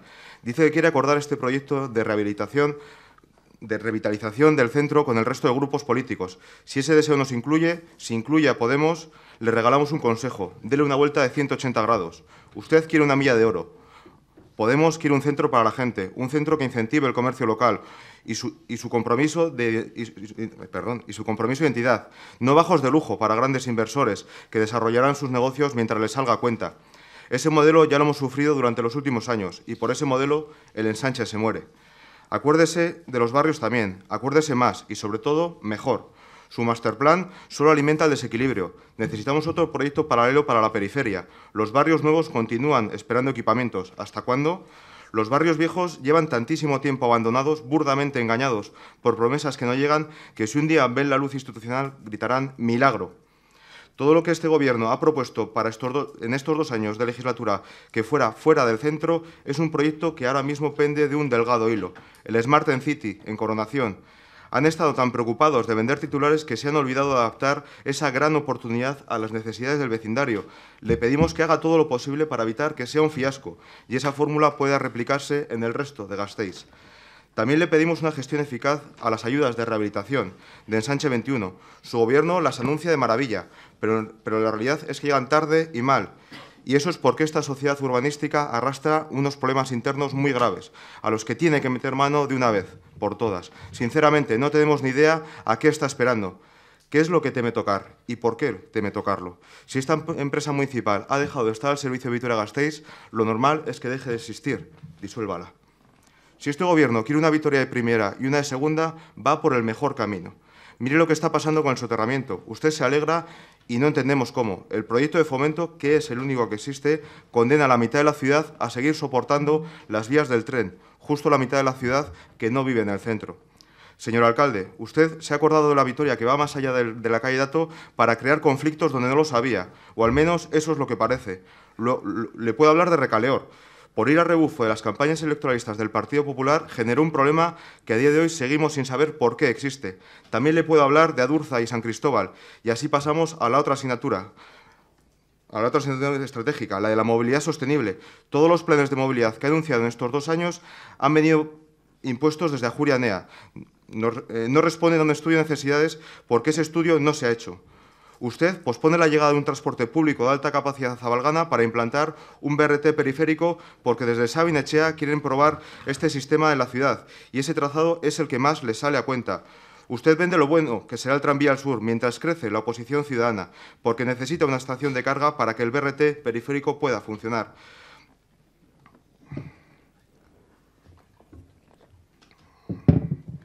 Vamos a tener un tranvía que va a cruzar el puente de las Trianas para salvar unas vías que se supone que dentro de unos pocos años desa- desaparecerán. Es un, es un sinsentido y usted lo sabe. Por favor, cumpla con el acuerdo del Pleno y elabore un estudio de necesidades de movilidad de la ciudad. Empecemos la casa por los cimientos. Debemos identificar prioridades y analizar las mejores soluciones. No queremos poner palos en las ruedas, créanos. Ojalá ese estudio hubiera estado efectuado cuando se acordó, porque a día de hoy ya sabríamos dónde actuar y cómo. Señor, señor Hurtara, le tengo que decir que estamos perdiendo el tiempo, dinero y oportunidades. Y no solo movilidad. Me voy, a referir, me voy a referir ahora a FCC.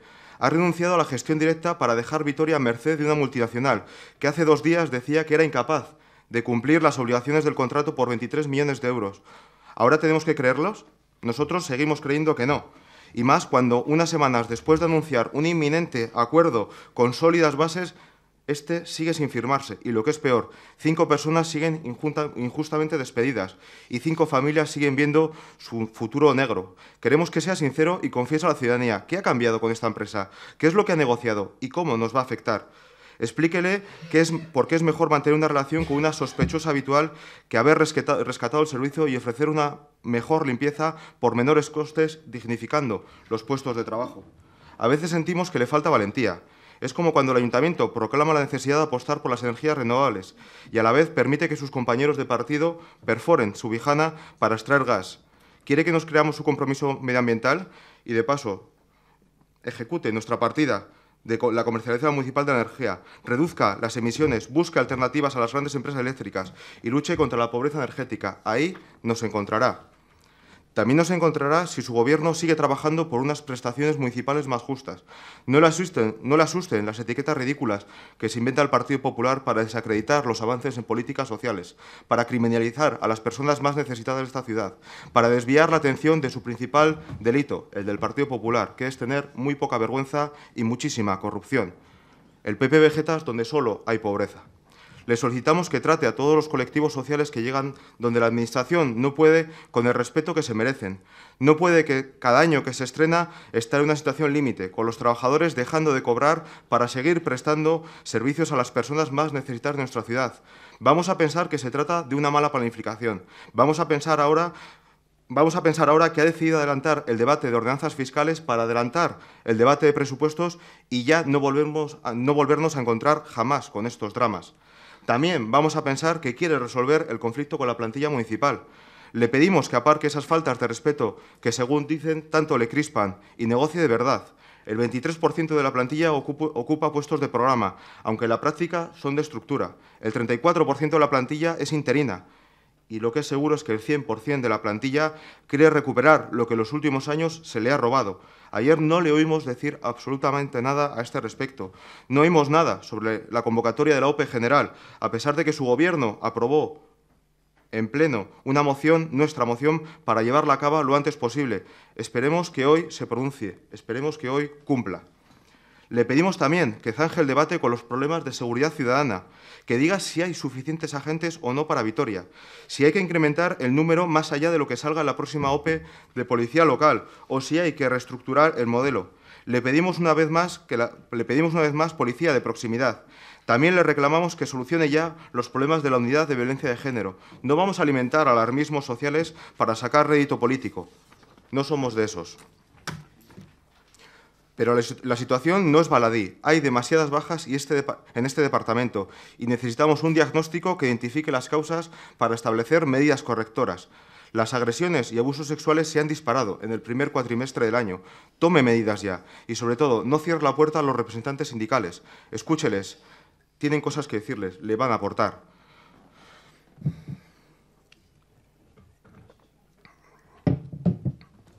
Sí, la gente se queja, dentro del ayuntamiento, pero también fuera. Y no es, por capricho. La gente no se siente escuchada. La gente no nos cree. Por eso nos preocupa tanto la falta de respuesta hacia la participación ciudadana. Tenemos las herramientas, pero no encontramos en su gobierno la voluntad política necesaria. Los ausogunes y los elcargunes no terminan de funcionar y hay muchos gasteiztarras que no saben ni qué son. Todos los grupos municipales cedimos para sacar adelante el programa Mejorando Vitoria-Gasteiz o Betus, sobre 3 millones de euros del presupuesto anual. Ahora su gobierno lo recorta a la mitad.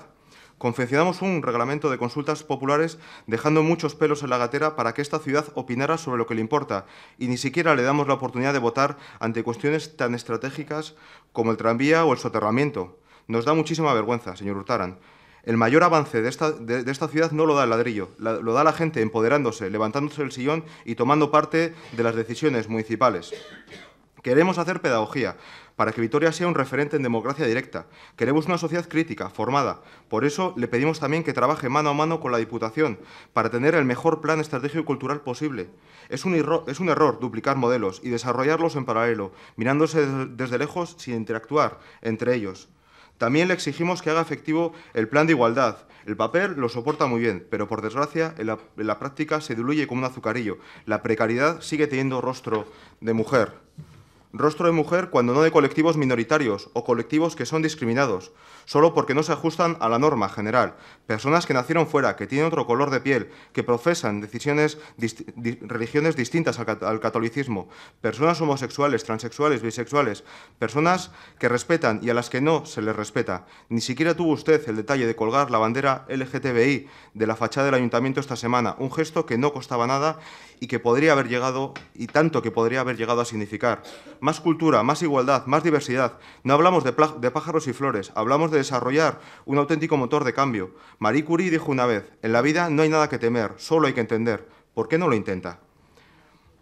Señor, perdón, del paso. A veces sentimos que le falta voluntad, la que le sobra cuando se trata de hablar de, con quien tienen los bolsillos llenos. Señor Hurtaran, qué rápido sucumbe a las presiones de la patronal e intenta bonificar a las grandes empresas para que lleven mejor, mucho mejor que cualquier familia, la presión fiscal. ¿Por qué las, instituciones siempre tienen más deferencia con quienes más tienen? Su partido va a cofinanciar el soterramiento de muelle de carga del corte inglés, cuando es el problema del corte inglés de ruido y suciedad. Ellos lo han generado y mientras en Madrid se alía su partido con quienes siguen cargando a las espaldas de los pequeños autónomos con más impuestos. Explíquenos por qué. Usted no habría llegado a la alcaldía sin Podemos ni irá así. No suma solo con EH Bildu. Ahora no hace falta que se vista con lo que no es. No le pedimos que aprenda, pero sí que le pedimos que aprenda ya a combinarse con los colores de las nuevas fuerzas políticas. En el debate, el debate de ordenanzas fiscales le, le brinda una gran oportunidad. Yo no le voy a entregar un documento, ya lo haremos cuando sea el turno. Haremos aportaciones como siempre, como siempre hacemos, pero sí que le vamos a adelantar cinco cosas que ya, hemos, que ya hemos hecho en otros debates. Apliquemos un IBI que marque el mínimo, legal, el mínimo legal para las viviendas habituales. Grabemos las viviendas vacías con medidas de acompañamiento para no castigar indebidamente. Incrementemos el IAE para equipararlo con el resto de capitales vascas.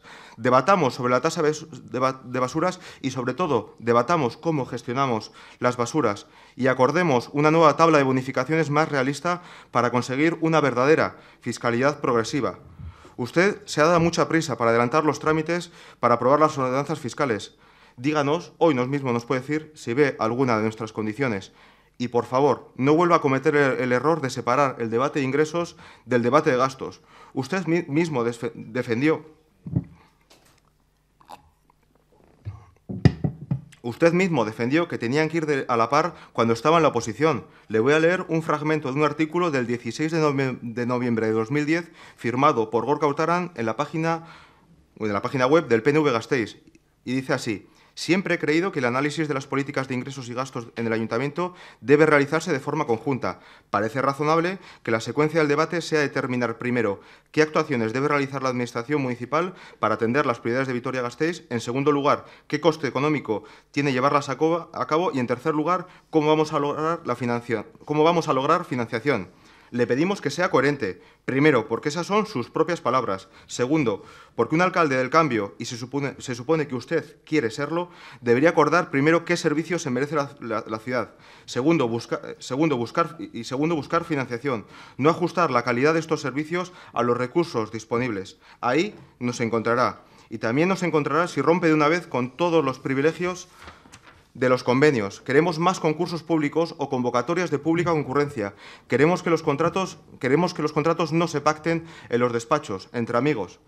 Hoy, que es día de grandes citas, hemos empezado con Francisco de Quevedo, hemos seguido con Marie Curie y vamos a terminar con Confucio. Gobernar significa rectificar. Está a tiempo. Ponga en marcha el compromiso presupuestario de este año. Es la última oportunidad que tiene de demostrar que puede cumplir con los diferentes, que es capaz de mirar por el conjunto de Vitoria-Gasteiz. Deje de ser el alcalde de las buenas y malas promesas. Escuche, sea valiente. Llévenos, llévenos la, contraria y demuestre a Vitoria-Gasteiz que no era un mal menor, como seguimos pensando en Podemos, sino que era la mejor alternativa. Muchas gracias. Muchas gracias a usted, señor Hinojal. También ha estado respetando el tiempo indicado, ya que se lo he dicho a todos los compañeros, también se lo digo a usted. Para finalizar este primer turno, señor eh, Fernández. Bai, mi esker eta egunon en guztioi. Bueno, eh, la verdad es que mi grupo siempre ha querido hablar alto y claro y con claridad sobre los asuntos de este ayuntamiento y lo que corresponde a su función y a su gestión, eh, señor Hurtaran. Podíamos hablar de ese 13 de junio y, y bueno, pues enarbolando un poco la, las palabras del señor López de Munain, cuando a algunos se les esperaba no aparecieron y cuando igual alguno no tenía previsto aparecer, pues tuvo que dar el paso. Las cosas como son. Si aquí, hubo, si aquí ha habido un partido en el que los momentos clave ha estado a la altura, ha sido ir a base ganar y ha sido las fuerzas que lo componen, tanto que han dicho como ECU o Verdeac. Ha estado eh, prácticamente en todos los acuerdos que, eh, que se han llegado en este ayuntamiento. Por eso cuando decimos, que, señor Utarán, que nos gusta hablar alto y claro, también le decimos que su discurso en el día de ayer nos decepcionó y nos decepcionó profundamente. Y no solo porque no vemos ninguna idea nueva en su gobierno. Aquí se ha hablado de revender, se ha hablado de pérdida de ilusión, se ha hablado de muchos conceptos en los cuales nosotros compartimos. Compartimos porque un año más comprobamos como nos sigue explicando proyectos que no terminan de arrancar, que vienen del 2015. Tampoco vemos un proyecto con un rumbo claro para Vitoria-Gasteiz, ya que al final ayer mezclaba en un batiburrillo de asuntos que encima algunos se contradecían entre ellos, que después voy a explicar. En ese discurso que usted ayer lanzaba en esta Cámara, dijo que Vitoria-Gasteiz avanzaba a velocidad de crucero, pero muchos nos tenemos desde Irabasi que lo que hace este ayuntamiento es navegar en círculos, una y otra vez, en círculo. Así nunca llegaremos a buen puerto, señor Tarán. Usted ofrece voluntad de acordar y de pactar con los grupos políticos, pero eso no se demuestra en el día a día. Y el mayor ejemplo que tuvimos en este ayuntamiento fue la aprobación de este presupuesto municipal. Fue la imposición de este presupuesto municipal que se lo dijimos. No era la, la vía. Taizu, eh, galdean, momentu hartan, eh, gatibu taldearen abesti bat jarri zenuen zure Facebooken, goetzen eh, alduzu, euritan dantzan, ezta? Ta abesti honek dionez, bizirik nau eta holan zetitzen naiz, topera nau, gaur inork ez nau geldituko. Eta horrela ze sentitzen zinen, ezta? Alkaterik indartsuena, munduko alkaterik indartsuena. Baina, urtaran jauna, hau ez da bidea. Hau ez da bidea akordioak lortzeko, baizik eta bakarrik egoteko. Eta oraintxe, ia ia euritan dantzan, baina euritakorik gabe eta zu bakarrik zaude bidean. Eta hau da errealitatea momentu honetan. Pero usted dice que Vitoria va bien. Y mientras ayer replicaba a gobiernos anteriores que esta administración a nivel financiero dependía en demasía de la aportación, de las aportaciones de otras instituciones, aquí cuando antes hablaba de incongruencias, le cito una, usted vendía los ingresos que se van a producir por los famosos canon de capitalidad. Unos canon de capitalidad que no tienen proyectos encima claros, como hemos comprobado en alguna comisión que hemos trasladado recientemente. No hay proyectos claros para invertir estas, estas eh, inversiones. Usted no está corrigiendo esta situación para avanzar hacia una economía más autosuficiente en este ayuntamiento. Y sigue recurriendo a otras administraciones, tal y como ocurrió en gobiernos eh, anteriores, que usted ayer achacaba, a pesar de que estos ingresos saben que son pan para hoy y hambre para mañana. También hablaba sobre una de las cuestiones que consideraba clave, que era la convivencia. Y en una ocasión usted dijo, comentó por redes sociales, en otro asunto, ¿eh? celebro el coraje de las personas que se rebelan contra el chantaje y la amenaza. Pero ¿acaso no es chantaje, no es amenaza dejar a un barrio sin luz? ¿No es más de sentido común, como se le ha pedido en este ayuntamiento y fuera de este ayuntamiento, realizar un informe vivienda a vivienda para conocer la situación? ¿Acaso usted y el Partido Nacionalista Vasco una y otra vez se fijan en Europa? ¿Por qué no se fijan en ciudades como Berlín, como Copenhague, como Friburgo, donde se ha trabajado en regular este tipo de espacios autogestionados y han sido para dar luz a estos espacios, para atraer también, ha mejorado la economía de estas ciudades porque va gente a visitar estos, estos espacios. ¿O acaso usted prefiere un barrio, un recaleor gris y derruido a vivo y en color? Pero usted dice que Vitoria va bien. Y respecto a la igualdad de género, usted dice que es una prioridad para este gobierno. Sin embargo, tanto el presupuesto como el personal, y se ha demostrado, sigue siendo insuficiente.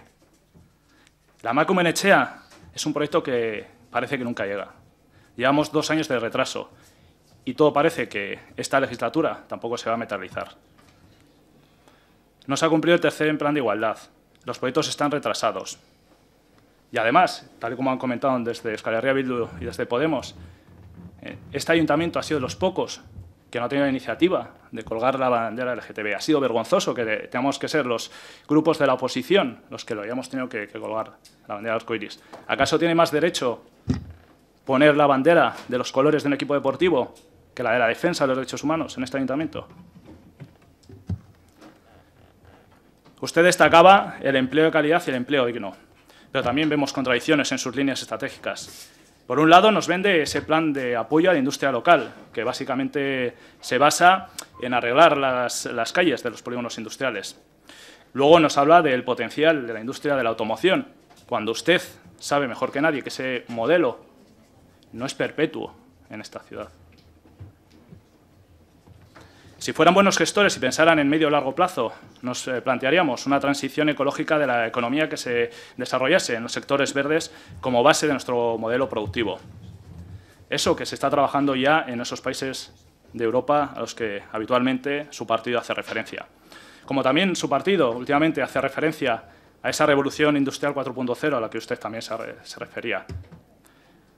Pero hablaba de riqueza y hablaba de empleo. Lo primero no, podemos ponerlo en duda. Lo segundo, sí que lo ponemos en duda. Y lo digo por qué. Cito la frase. La revolución de la industria 4.0 destruirá empleo. Y dirá, y está aquí otra vez el radical hablando de estas cuestiones, pero no es una frase mía. Es una frase del decano de la Deusto Business School, Guillermo Dorronsoro. Le digo más, en el último foro de Davos se publicó un informe en el que en Europa hablaba de que con esta revolución 4.0 va a suponer la desaparición de 7 millones de puestos de trabajo. Es cierto, con la creación de otros dos puestos de trabajo especializados. Se habla también, hay pocos informes, pero se habla de informes de que el 12% de los trabajadores del Estado podrían verse afectados por esta revolución. Y yo le pregunto, si es el modelo, si es el camino que quiere seguir, ¿cuál es su plan B? ¿Cuál es el plan para estas personas que se van a quedar en la calle? No se pueden quedar en la calle.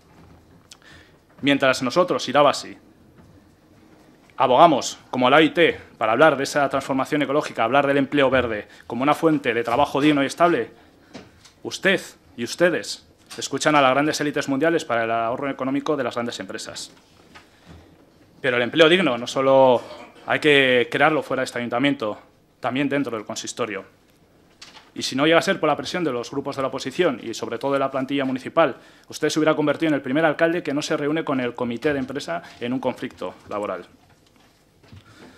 Y encima estamos en un ayuntamiento con casi el 40% de interinidad. Eso lo comentaba el señor Enojal. ¿Para cuándo la, la OPE? ¿Es esto empleo digno, señor Hurtaran? ¿Y qué opina sobre esa inestabilidad laboral que, por ejemplo, sufren las trabajadoras, especialmente del Servicio de Limpieza Municipal, año tras año? Pero usted dice que Vitoria va bien. Por otro lado, el Ayuntamiento continúa priorizando la parte económica a la hora de adjudicar contratos, lo que sigue provocando bajas temerarias y la precarización del empleo. Y entre esos contratos está el culebrón del contrato de limpieza, que se produjo antes de la llegada de los grupos, eh, de las nuevas fuerzas del cambio. Observamos cómo eh, el Gobierno no tiene intención de defender los servicios públicos. Se niega a recuperar la gestión directa.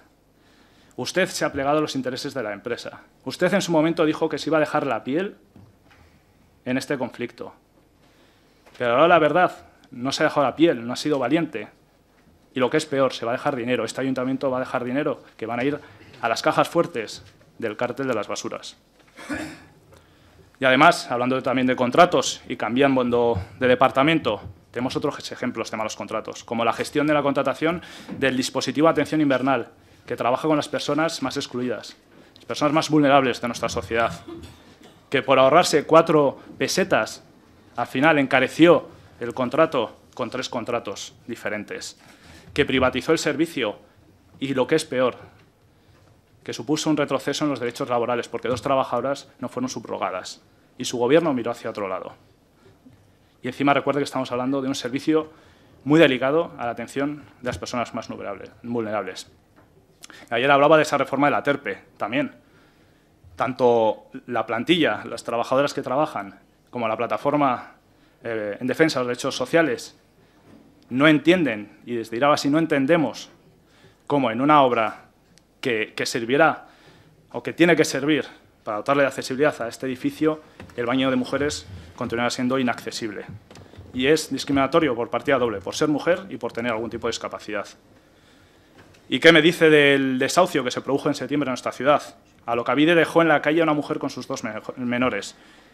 Y algunos de los representantes que estamos aquí, en este ayuntamiento, estuvimos allí para intentar impedirlo, mientras usted estaba observándolo desde su despacho. En resumen, ayer habló de todo menos de las personas más vulnerables, cuando en este ayuntamiento, desde la época del alcalde Cuerda, ha sido un referente en esta materia. Es esta la ciudad solidaria que defendía en investidura, pero usted dice que Vitoria va bien. Ahora hablemos de algo que nos identifica y usted lo sabe, hablemos de políticas verdes. En su discurso de ayer escuchamos mucho sobre el marketing verde, pero pocas eh, medidas efectivas de políticas de sostenibilidad. A ningún alcalde se le debe olvidar, y se ha dicho aquí, que Vitoria-Gasteiz siempre ha estado a la vanguardia europea en políticas verdes. Y ese es el camino que debemos eh, seguir, señor Hurtaran.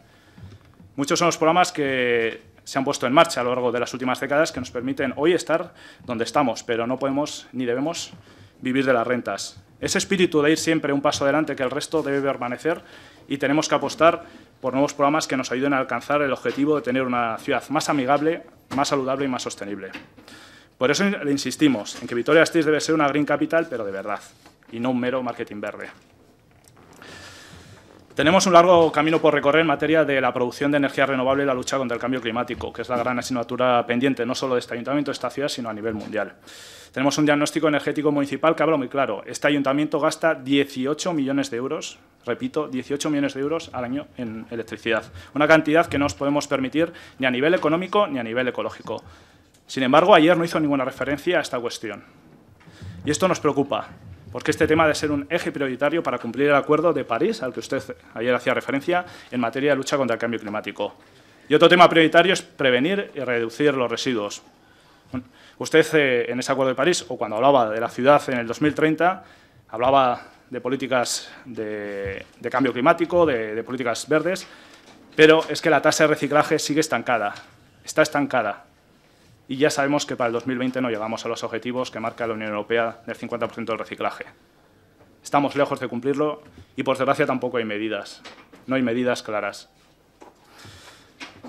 Usted sabe que el cierre del anillo verde por el sur, la recuperación de las gaveras de la Sarte y el parque fluvial de los ríos Batán y Zaparriel, así como el plan de prevención de inundaciones del río Zadorra, son proyectos prioritarios para nuestro grupo. Tampoco lo vimos nada al respecto.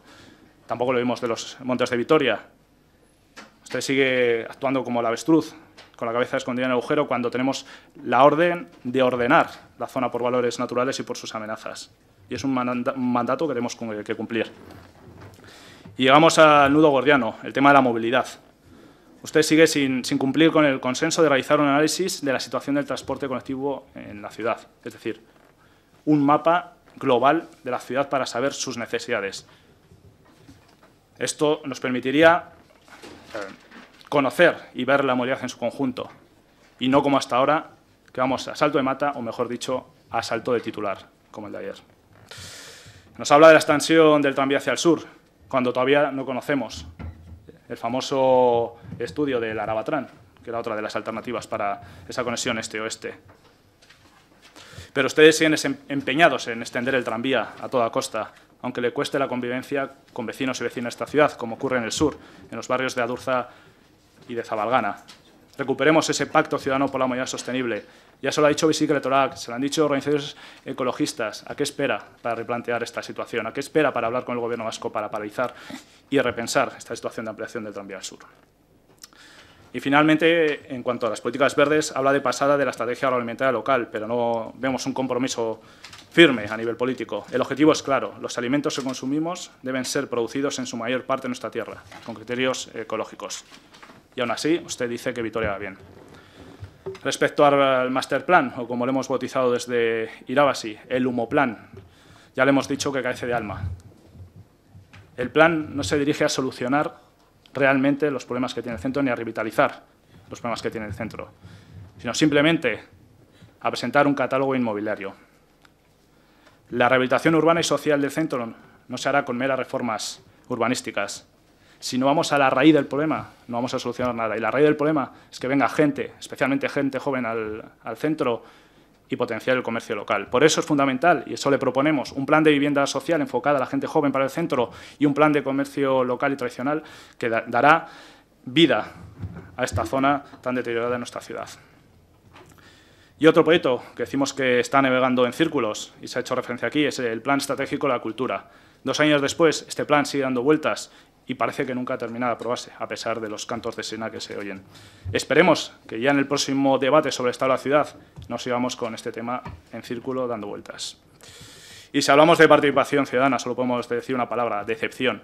Pasamos de apostar, de que haya un consenso en la participación ciudadana, a una decepción absoluta.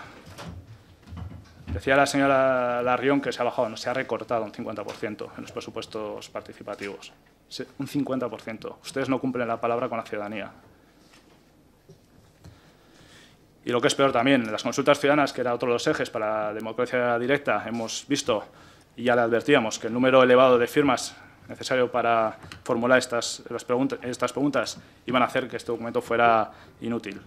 Sobre la defensa de los derechos de los animales, reconocemos que se han dado pasos, como la supresión de la carrera de burros o la ausencia de corrida de toros pero animamos a seguir por el camino de ciudad libre de maltrato animal, la desaparición de espectáculos con animales como las vaquillas, que realmente pintan poco en las fiestas de nuestra ciudad. Debemos avanzar a esa ciudad libre de maltrato animal. Pero usted dice que Vitoria va bien. El año pasado, desde Irabasi, le ofrecimos cinco grandes pactos para construir una Vitoria Stays más tolerante, más social y más sostenible.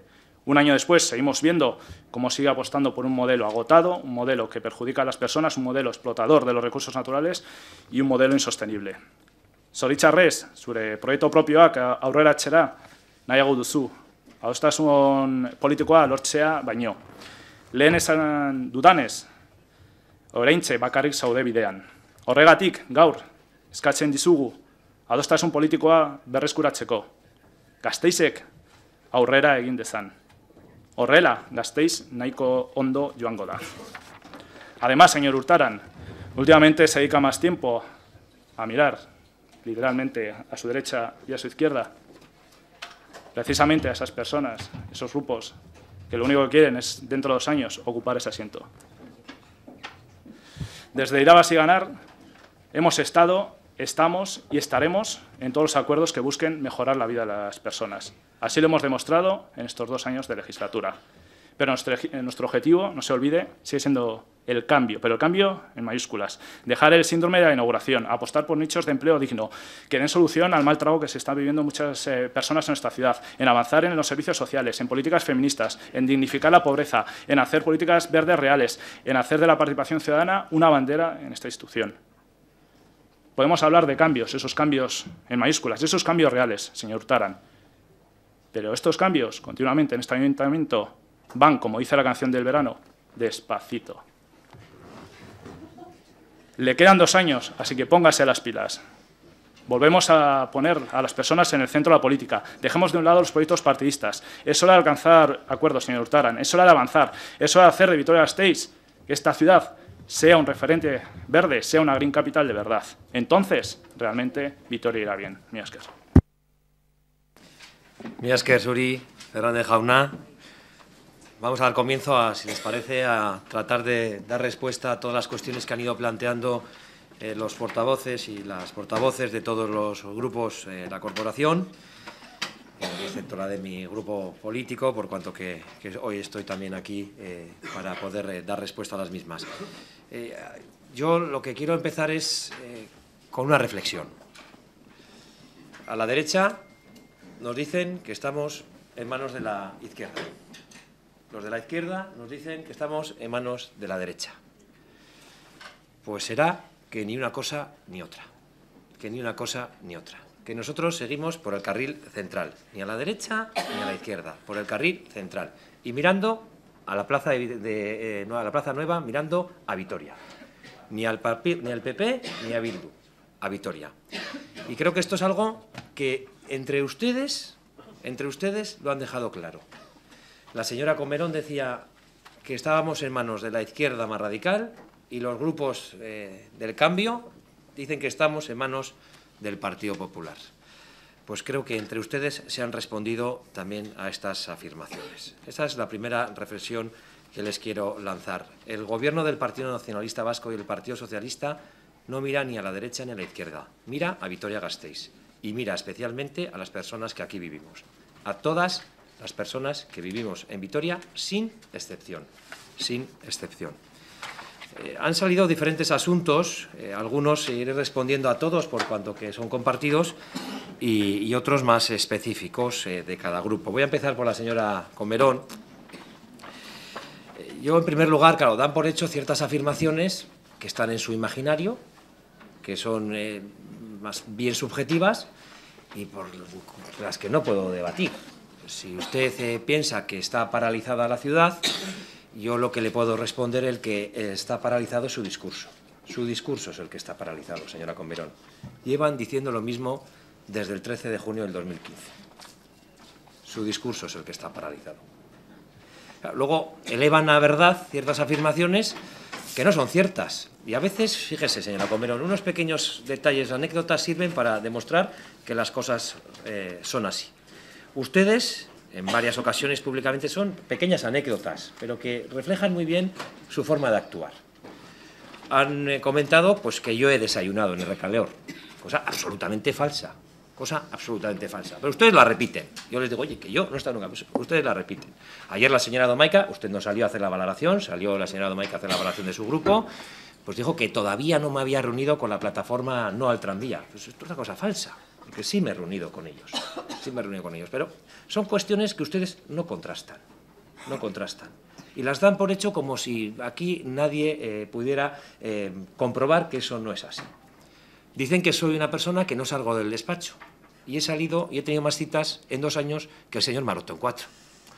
Pues, ¿qué le vamos a hacer? Ustedes seguirán con la matraca, pero es que los datos son diferentes. Los datos son diferentes. Y por lo tanto, pues pueden seguir diciendo que Vitoria está parada, pueden seguir diciendo que he desayunado en el recaleor, pueden decir, seguir diciendo que no me reúno con las asociaciones ni con la plataforma del tranvía, no, pueden seguir diciendo que no salgo del despacho, pero eso es falso. Y yo creo que ya aquí tenemos que dejar esa, eh, ese debate. Yo lo que sí le traslado, señora Comerón, es eh, una reflexión en base a un dicho. Hechos son amores y no buenas intenciones. Demuestre con hechos que ha venido a aportar a la política. Demuestre con hechos. Todavía no lo ha hecho. Todavía no lo ha hecho. Demuestre con hechos que ha venido a aportar a la política y a acordar y a pactar. Yo, sinceramente, también hacer unas afirmaciones más interesadas, pues que efectivamente que preferimos una foto con la izquierda radical que con el Partido Popular. No sé de dónde se saca eso. No sé de dónde se saca eso. Yo le he ofrecido y le, y le he tendido la mano en numerosas ocasiones. Y le voy a decir también otra pequeña anécdota que además refleja muy bien cómo funcionamos en política. Usted hoy me ha trasladado la información sobre el edificio de Cuchabán y cómo llevan desde el año 15 pidiéndome que pongamos en marcha ese proyecto. Yo llevo cuatro meses con su compañero que está a su derecha intentando cerrar el acuerdo para poner en marcha ese convenio. Y todavía estamos esperando a que me diga que sí. Más de cuatro meses. Y me he quedado corto, ¿eh? Y me he quedado corto. Por lo tanto, yo creo que también esto refleja hasta qué punto no vale todo en política. No vale todo en política. No me puede decir usted públicamente eh, que llevan exigiéndome desde el año 2015 que reactive, entre otros casos, el edificio de Cuchabán, cuando sabe que llevamos meses desde el Gobierno intentando cerrar un acuerdo con ustedes. Es que creo que son pequeñas anécdotas, pequeños ejemplos que demuestran la forma de hacer política de su grupo. Pero yo de verdad hoy no quiero entrar en la crítica. Eh, creo que usted ha planteado hoy eh, una forma de hacer política, por lo menos en la teoría y en las palabras, que puede ser positiva para la ciudad, que puede ser positiva. Usted ha planteado llegar a acuerdos. Y yo estoy dispuesto a llegar a acuerdos, como llevo dispuesto desde el principio de la legislatura, llegar a acuerdos con todos los grupos sin excepción. Usted ha hablado del proyecto Masterplan, que lo ven bien y me alegro, porque ahí vamos a llegar a importantes acuerdos, estoy convencido el centro de Vitoria necesita una reforma, una revisión, una reestructuración, una, nueva forma de actuar. Necesita adaptarlo a lo que nos llega, a lo que nos viene. Necesita que estar preparado. Hablaba de la movilidad. No me queda muy claro si usted defiende el tranvía a Salburúa y a Sabalgana, como estamos planteando, no, pero creo que también puede ser un aspecto donde nos podemos poner de acuerdo. Hablaba de soterramiento, punto de acuerdo. Yo me alegro, me alegro. Y me alegro el paso que ha dado el Partido Popular. Recuerden que el anterior gobierno del Partido Popular lo que defendía era la entrada de alta velocidad en superficie con un pequeño cambio, eh, la estación de tren instalando unas marquesinas. Y hoy estamos hablando de otro proyecto, mucho más ambicioso, mejor para la ciudad. Creo que eso también usted lo tiene que reconocer. Cuando planteamos el soterramiento de la alta velocidad y el soterramiento del corredor ferroviario en Vitoria, este proyecto que ahora está en marcha, usted dijo que era inviable. Y hoy dice que es bueno. Pues yo me quedo con eso. Yo me quedo con eso, con que es bueno. Y por lo tanto, sigamos trabajando. También ha hablado de la plataforma de Jundiz. Me parece que es un proyecto estratégico para el futuro de Vitoria-Gasteiz porque es una de las señas de identidad, se lo decía yo ayer.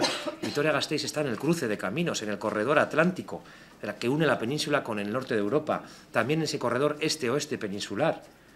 Vitoria siempre ha sido un cruce de caminos y por tanto la logística tiene un peso importante que no debemos desperdiciar. Y la plataforma logística de Jundiz, aprovechando la alta velocidad y el transporte ferroviario, que por cierto es mucho más sostenible que cualquier otro transporte, pues creo que es eh, una enorme oportunidad para el futuro de Vitoria-Gasteiz. Hablaba de las ordenanzas fiscales que están dispuestos a llegar a un acuerdo. Hablaremos de eso también, de la situación económica. Eh, yo eh, leeré con interés su documento. Ahora, si lo que se plantea es, como siempre que se está en la oposición, que hay que bajar los impuestos, que hay que bajar las tasas, que hay que bajar los precios públicos, que ya estamos en una situación mejor, Siempre que ustedes están en la oposición, siempre dicen lo mismo. Hay que bajar los impuestos. Luego llegan al gobierno dicen, si no es por el anterior gobierno, es por la situación económica, lo suben. Entonces, con respecto a las ordenanzas fiscales y sobre todo a la política económica de este ayuntamiento, tenemos que tener muy clara las observaciones que nos hace el interventor general cualquier política fiscal que firmemos en este ayuntamiento tenemos que tener muy claro y muy presente en cualquier política las observaciones que lleva realizando el interventor general desde hace años.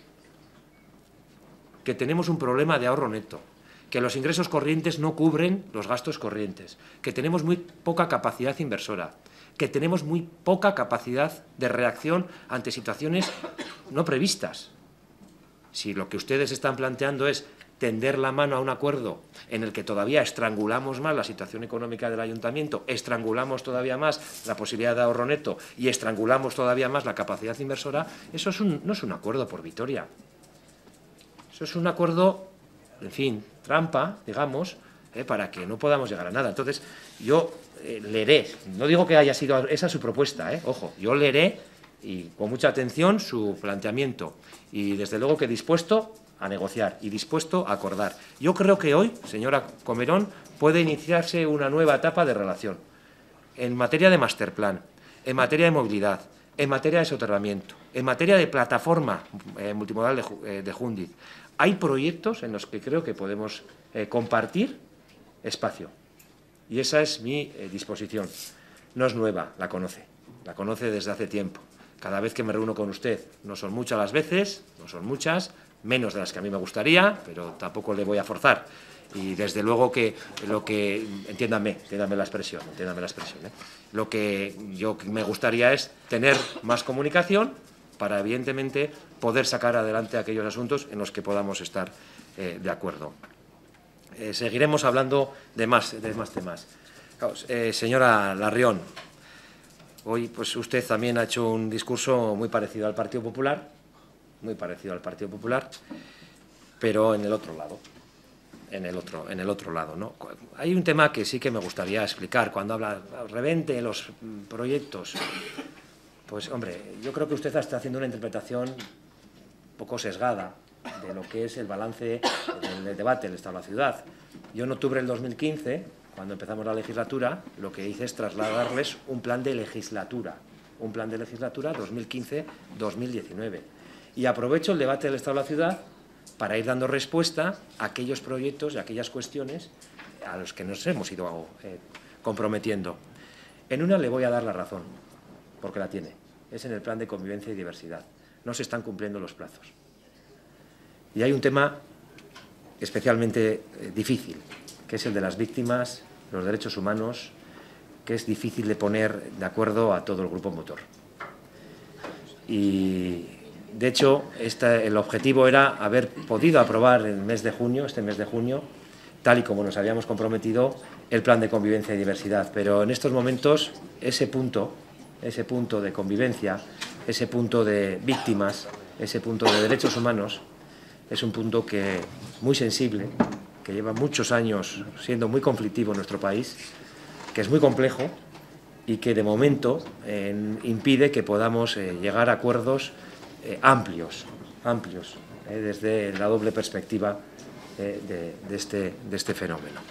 Por lo tanto, este es el problema y le doy la razón. No hemos cumplido el plazo, no porque nosotros no tengamos ya el plan hecho, no porque no haya acciones del propio plan que estén en marcha, porque hay muchas acciones del propio plan que están en marcha, pero no lo hemos podido presentar en su totalidad porque todavía no hay un consenso, como a mí me gustaría, como a mí me gustaría, sobre la materia que le acabo de relatar. Y yo puedo tirar para adelante, puedo decir, bueno, pues yo lo apruebo, ya está aprobado, yo ya he cumplido el plazo un poco tarde, también es cierto, pero ¿qué consigo? Porque yo prefiero que ustedes me sigan recriminando que no estoy cumpliendo los plazos y al final poder llegar a un acuerdo donde todas las partes puedan llegar a un mínimo común denominador. En otros asuntos, hablaban de recaleor, creo que lo han dicho, lo han dicho todos. El recaleor eh, es un problema que usted ha generado. No, no, no es un problema que yo haya generado. No es un problema que yo haya generado. Primero, es una ocupación que viene de la legislatura pasada. Por mucho que algunos digan que ahora es la ciudad ocupa, no, esto viene de la legislatura pasada. De hecho, ya en febrero del 2015 hubo al menos 20 viviendas ocupadas, 20 viviendas ocupadas, a las que el anterior gobierno pues, tampoco puso mucho empeño por desalojar. No puso mucho empeño por desalojar. Pero es que además nosotros eh, lo que hemos planteado lo planteó su grupo antes. Supongo que la señora López de Averasturi, también la señora Aristi, se acordarán de un señor que era asesor, que tenía bigote y tenía mucho poder. Pues ese señor, ese señor, en un consejo de Sánchez 21, viene a decir, lo lógico habría sido hablar con la gente que está en recaleor y ver dónde pueden desarrollar su proyecto. ¿En Errecaleor o en otra parte? Eso lo dicen ustedes, ustedes, hace eh, un, dos años. ¿En Errecaleor o en otra parte? ¿Sí? Dicen, lo lógico es ver, habría sido hablar con ellos. Entonces, ¿qué, es, ¿qué ha hecho este gobierno? Ir a hablar con ellos. Yo personalmente fui en octubre del 2015 a hablar con ellos. Yo personalmente les trasladé, aquí no se puede vivir. Hay una situación de inseguridad. Hay una situación de inseguridad. Y por lo tanto, tenéis que buscar una alternativa. Eso sí, cumpliendo unas mínimas reglas de juego. No se puede estar en una vivienda sin pagar un alquiler, sin pagar la luz que se consume, sin, sin pagar el agua que se consume, sin pagar la gestión de los residuos que se generan. No se puede estar en Vitoria-Gasteiz aprovechándose del sistema sin cumplir las obligaciones que el resto de ciudadanos sí cumplimos. Y sobre todo, cualquier proyecto que se desarrolle en Vitoria-Gasteiz tiene que tener un mínimo de seguridad para las personas. Y en Recaleor no se cumple. Entonces, ahora ustedes parece ser que no están de acuerdo con lo que hemos propuesto cuando precisamente, fíjese, ayer eh, repasando incluso las actas, eran cuestiones que ustedes también estaban planteando antes. ¿Por qué antes sí valía y ahora no? ¿Por qué antes sí valía y ahora no? No, no. O en otra parte. En otra parte, claro, ustedes, claro, cada uno puede ver el asunto como quiera, pero de todas formas, si vamos con ese grado de flexibilidad a los acuerdos, no me extraña que hoy haya hecho el discurso que ha hecho. Con respecto a los trabajadores, que también es alguna cuestión que han planteado todos ustedes. Mi gobierno se reúne con, eh, el comité de empresa. 20 reuniones desde el inicio de la legislatura. 20 reuniones. Y hemos llegado a acuerdos importantes, el último en octubre del 2016. Acuerdos importantes con el comité de empresa. Ahora plantean que yo soy el que me tengo que sumar a las negociaciones. Yo les respondí, oye, no descarto sumarme a las eh, negociaciones, pero evidentemente eh, no creo que ahora mi aportación vaya a cambiar eh, la situación, por cuanto que lo que están pidiendo son cuestiones que no observan la legalidad, que son ilegales. Y por lo tanto, es muy difícil que podamos llegar a un acuerdo. El problema no es que yo no me haya reunido con ellos, que nos hemos reunido 20 veces. El problema es que lo que está planteando el comité de empresa son cuestiones que en estos momentos son ilegales. Eso no es falta de diálogo, eso no es intransigencia, eso es plantear los asuntos y hacer frente a ellos. Y hacer frente a ellos. Hablaban también eh, de FCC y la limpieza. Yo, señora Comerón, sirve para todos, eh, porque también le he respondido a la señora Larrión, eh, con el tema de la limpieza, mire, ahora en estos momentos se limpia Vitoria más que nunca, más que nunca se limpia más que nunca. Iniciamos, es cierto, eh, al principio de la legislatura con unos incumplimientos más o menos importantes en cuanto a los servicios que se tenían que prestar, que por cierto se descontaron, y por otro lado, y por otro lado, ahora en estos momentos prácticamente el 100% de los servicios que están recogidos en el contrato se cumplen. Por lo tanto, Vitoria se limpia más que nunca. Luego, la cuestión de si está más limpia o menos limpia depende del grado de, bueno, de suciedad que generemos los ciudadanos y depende un poco de la percepción. Pero lo que en estos momentos le puedo asegurar es que los servicios de limpieza se prestan prácticamente al 100% de como se habían previsto. Y luego, desde luego, lo que también les tengo que trasladar es... Sí, claro, usted demuestra fortaleza con los débiles y debilidad con los fuertes. Oiga, pues no será en este caso. Precisamente está poniendo usted un ejemplo que, claro, si, si hubiese sido así, el acuerdo ya habría estado firmado. Si hubiese sido así, nos habríamos ahorrado una amenaza de huelga de limpieza, nos habríamos ahorrado los despidos, nos habríamos ahorrado un montón de situaciones muy desagradables para nosotros. Y vaya por delante, vaya por delante, señor Fernández, que el primer objetivo de este Gobierno es la readmisión de las cinco personas despedidas. Y ese es el requisito no es un requisito, es un prerequisito para llegar a un acuerdo. La readmisión de las cinco personas despedidas. Pero lo que estamos haciendo precisamente, y si por eso no llega todavía el acuerdo, es porque estamos defendiendo el interés general. Porque habría sido muy fácil, miren, aceptamos la interpretación de la empresa, señor Hinojal, aceptamos la interpretación de la empresa, damos por bueno eh, la revisión de precios conforme a los criterios que ellos marcan y conforme a la interpretación que ellos hacen del contrato, y asunto arreglado. Y aquí, paz y después gloria. Pero eso es precisamente lo que yo no quiero hacer, porque yo dije desde el principio que iba a ser muy escrupuloso en el cumplimiento del contrato y muy exigente con la empresa. Y yo entiendo que la interpretación que hace la empresa para actualizar los precios del servicio no es la interpretación que tenemos que hacer nosotros y que hacemos nosotros y que es la que viene recogida en el espíritu del contrato. Y aquí está el problema. Si hubiese sido débil, como dice la señora Larrión, el acuerdo ya habría estado firmado. Habríamos aceptado la interpretación de la empresa, la revisión de los precios se hace conforme a ese criterio eh, aparentemente recogido en el contrato, cosa que yo no comparto, y asunto arreglado. Pero es que no estamos así. Otros funcionaron así, ¿eh? Otros funcionaron así. Hoy no se funciona así. Y por lo tanto, estamos en esta situación. Yo espero que en breve podamos ya eh, anunciar el acuerdo, que a mí un acuerdo me parece muy positivo. Si ese acuerdo permite la readmisión de las eh, personas despedidas, permite hacer una interpretación en forma de un órgano independiente y absoluta bueno, eh, solvencia, como es la COJUA, y permite que resolvamos este asunto, ¿dónde está la debilidad? ¿Dónde está la debilidad? Débil es el que en el momento que ve una amenaza de huelga afloja y adapta o acepta los postulados de la empresa. Pero eso no ha hecho este gobierno, por mucho que eh, a alguno igual le pese. Con respecto a los presupuestos participativos, que son otras cuestiones que ustedes han ido planteando. Eh, es la primera vez en la historia de este ayuntamiento que se desarrolla una política de, participación ciudadana como la que hemos desarrollado. Entre todos, ¿eh? Entre todos. Se ha aprobado un plan municipal de participación ciudadana. Se han aprobado unos nuevos eh, órganos de participación, los elcargunes y los autogunes. Se ha aprobado, no solo presentado, se ha aprobado, presentado fue uno de los compromisos del año pasado, y hasta aprobado un reglamento de consultas ciudadanas. Tenemos un turno popular en los plenos que no está vinculado a ninguna moción presentada por los grupos políticos. Hemos puesto en marcha el programa de presupuestos participativos. Por primera vez se recogen no solo las aportaciones de los colectivos, sino también de las personas a título individual.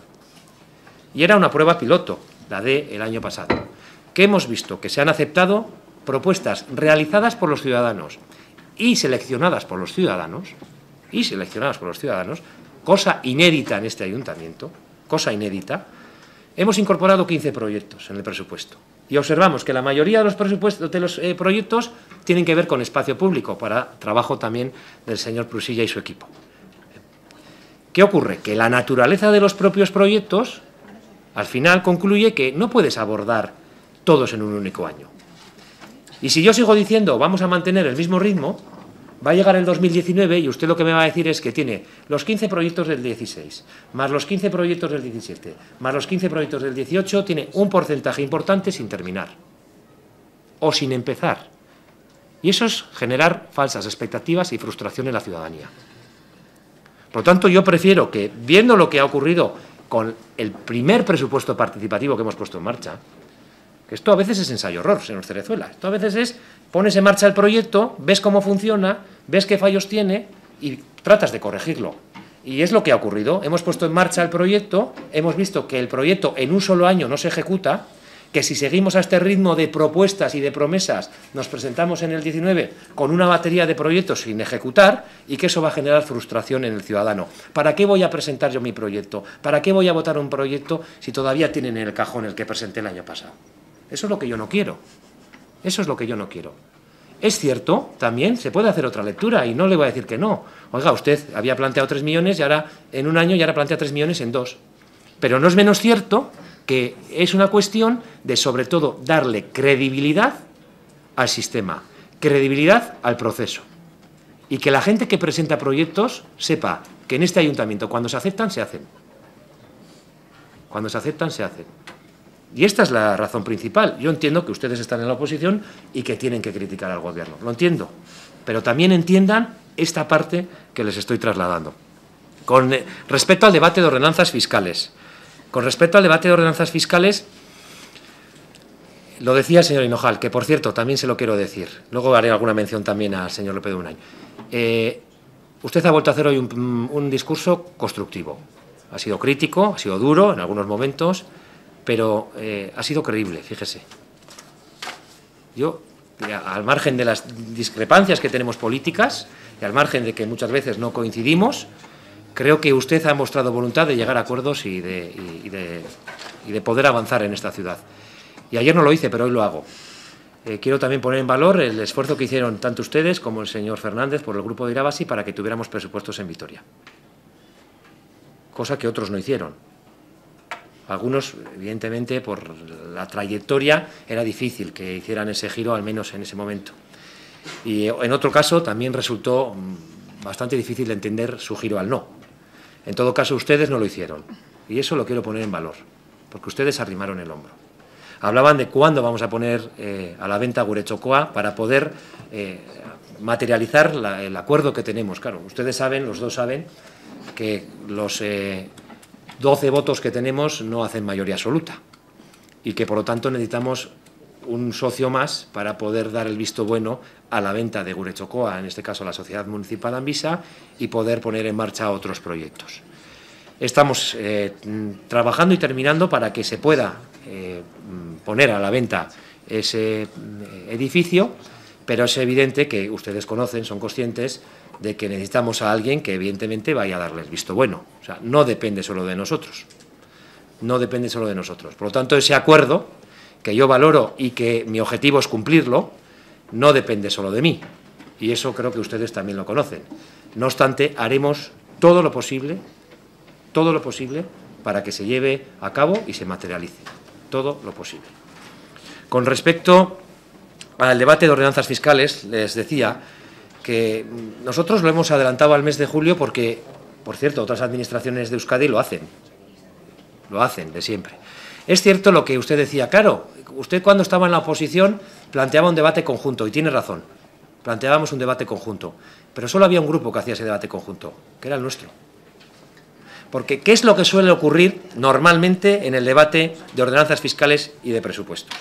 En el debate de ordenanzas fiscales, los grupos de la oposición que hacen oposición, uf, plantean unas elevadas de unas subidas desproporcionadas. No se puede subir los impuestos, las tasas y los precios públicos como plantea el Gobierno, aunque sean tres euros. Generalmente digo, no estoy achacando a nadie en particular. Esta es la dinámica general del Ayuntamiento de Vitoria durante los últimos años. Hay que reducir los impuestos, las tasas y los precios públicos. Ese es el debate en ordenanzas fiscales. Pero en presupuestos es el contrario. El gobierno plantea recortes, hay que subir el gasto. Y nunca casan. Y el único que hizo ese esfuerzo, no sin dificultad, fue nuestro grupo en la legislatura pasada, en un único debate que hicimos así. Cuando planteábamos un descenso en la recaudación, en alguna de las eh, subidas que planteaba el Gobierno, planteábamos un descenso en el presupuesto. Pero es que el resto no lo hizo así. Y no lo hacen. No tiene sentido ese debate. Porque no se acepta por todos que si yo quito eh, del impuesto de actividades económicas un millón, quito también ese millón del presupuesto. Pero ese ejercicio no se hace. Y por lo tanto, eh, entienda, y además ha dado usted en el clavo. Si adelantamos el debate de ordenanzas fiscales es porque a la vez queremos adelantar el debate presupuestario al mes de septiembre y queremos, por una vez al menos, señor interventor, cumplir con su eh, reclamación y su reivindicación de que, por lo menos, esté aprobado provisionalmente antes de Navidades. Ese es el objetivo. No hay nada más en este adelanto del debate de ordenanzas fiscales más allá de que a ver si este ayuntamiento coge también la dinámica de poder empezar ese debate en el mes de julio. Bueno, sigo para adelante porque si no eh, me voy a, a, alargar demasiado. Eh, hablaban del proyecto de coronación, todos, no les quepa ninguna duda. Con el proyecto de coronación estamos a muerte, pero a muerte. O sea, está clarísimo. Y creo que durante este tiempo eh, se ha ido trabajando en ello. Lo que pasa es que es un proyecto complejo, ustedes lo conocen. Es un proyecto complejo, es un proyecto que no se hace de la noche a la mañana. Es un proyecto que requiere primero del concurso de muchas administraciones y también del ámbito privado. Requiere también de modificaciones que se están impulsando desde el ayuntamiento. Pero durante este tiempo hemos avanzado y mucho. Y sobre todo ahora hemos llegado ya al momento en que tenemos todo el proyecto detallado, todo el proyecto. Y en el momento en que traslademos esta información, que ya lo estamos haciendo, lo hemos hecho antes y lo vamos a seguir haciendo, en el momento que traslademos esta información a todos los vecinos y vecinas del barrio y del ámbito concernido, estoy convencido que vamos a llegar al número de viviendas requeridos para llevar adelante el proyecto. Yo estoy convencido de que vamos a llegar. Porque creo que es el proyecto que va a marcar la política de rehabilitación, no solo de coronación, sino de todo Vitoria y especialmente de los barrios de oro, de los barrios antiguos. Bueno, hay numerosas cuestiones también. Eh, señora Larrión, eh, yo creo que podemos llegar a acuerdos y a seguir llegando a acuerdos. Esa es mi disposición. Se lo he dicho a la señora Comerón y se lo digo a usted. Mano tendida para llegar a acuerdos por el bien de Vitoria-Gasteiz. Yo creo que tenemos proyectos en los que podemos coincidir. Gasteiz-Anchoquia es uno de ellos. Hoy criticaba que estaba parado. Hombre, parado, pues que esté. Eh, nosotros planteamos en su día que durante esta legislatura queríamos poner en marcha este proyecto. En el debate del Estado-Ciudad del año pasado les dije que en breve les íbamos a proponer nuestra ubicación. El problema de las ubicaciones genera siempre mucho, mucho conflicto. Eh, ahora, en estos momentos, ya está el concurso de ideas que se va a conocer la próxima semana y lo que tenemos que hacer, se lo dije ayer, es eh, escuchar a los grupos políticos, escuchar a los colectivos escalchales y entre todos buscar la mejor forma de poner en marcha este proyecto. Y ese es mi compromiso. Y yo creo que eso es algo que podemos impulsar de la mano. Podemos impulsar de la mano. Esto no significa que vayamos a excluir a ningún otro grupo, sino que en aquellos puntos donde entendemos que puede haber acuerdos, que los exploremos. Lo mismo con la de Macu Menechea. Yo creo que hay puntos en común para impulsar este proyecto cuanto antes. Pero que no se centre el debate en dónde va la EMACU Menechea, sino en cómo tiene que ser. Porque a veces a uno le da la sensación de que el problema es que diga públicamente dónde propone que vaya la EMACU Menechea. Que fíjese, el Palacio de Chanove, eh, teniendo en cuenta los proyectos, eso es, me dice la señora Aristi, o sea que en algo no estaré, no estaré, no estaré errado. El, el, fíjese, si usted se hace una, no sé, una revisión de los locales donde están las EMACU Menecheas en otros municipios de Euskadi, fíjese si le estamos dando un edificio como se merece también, como se merece. En otros sitios están en locales, aquí estarían en un palacio, el de Chanove. Pero desde luego que si ese es el problema, buscaremos también las alternativas posibles. En definitiva, yo lo que les planteo hoy a todos es eh, lo que ha trasladado el señor López de Munain.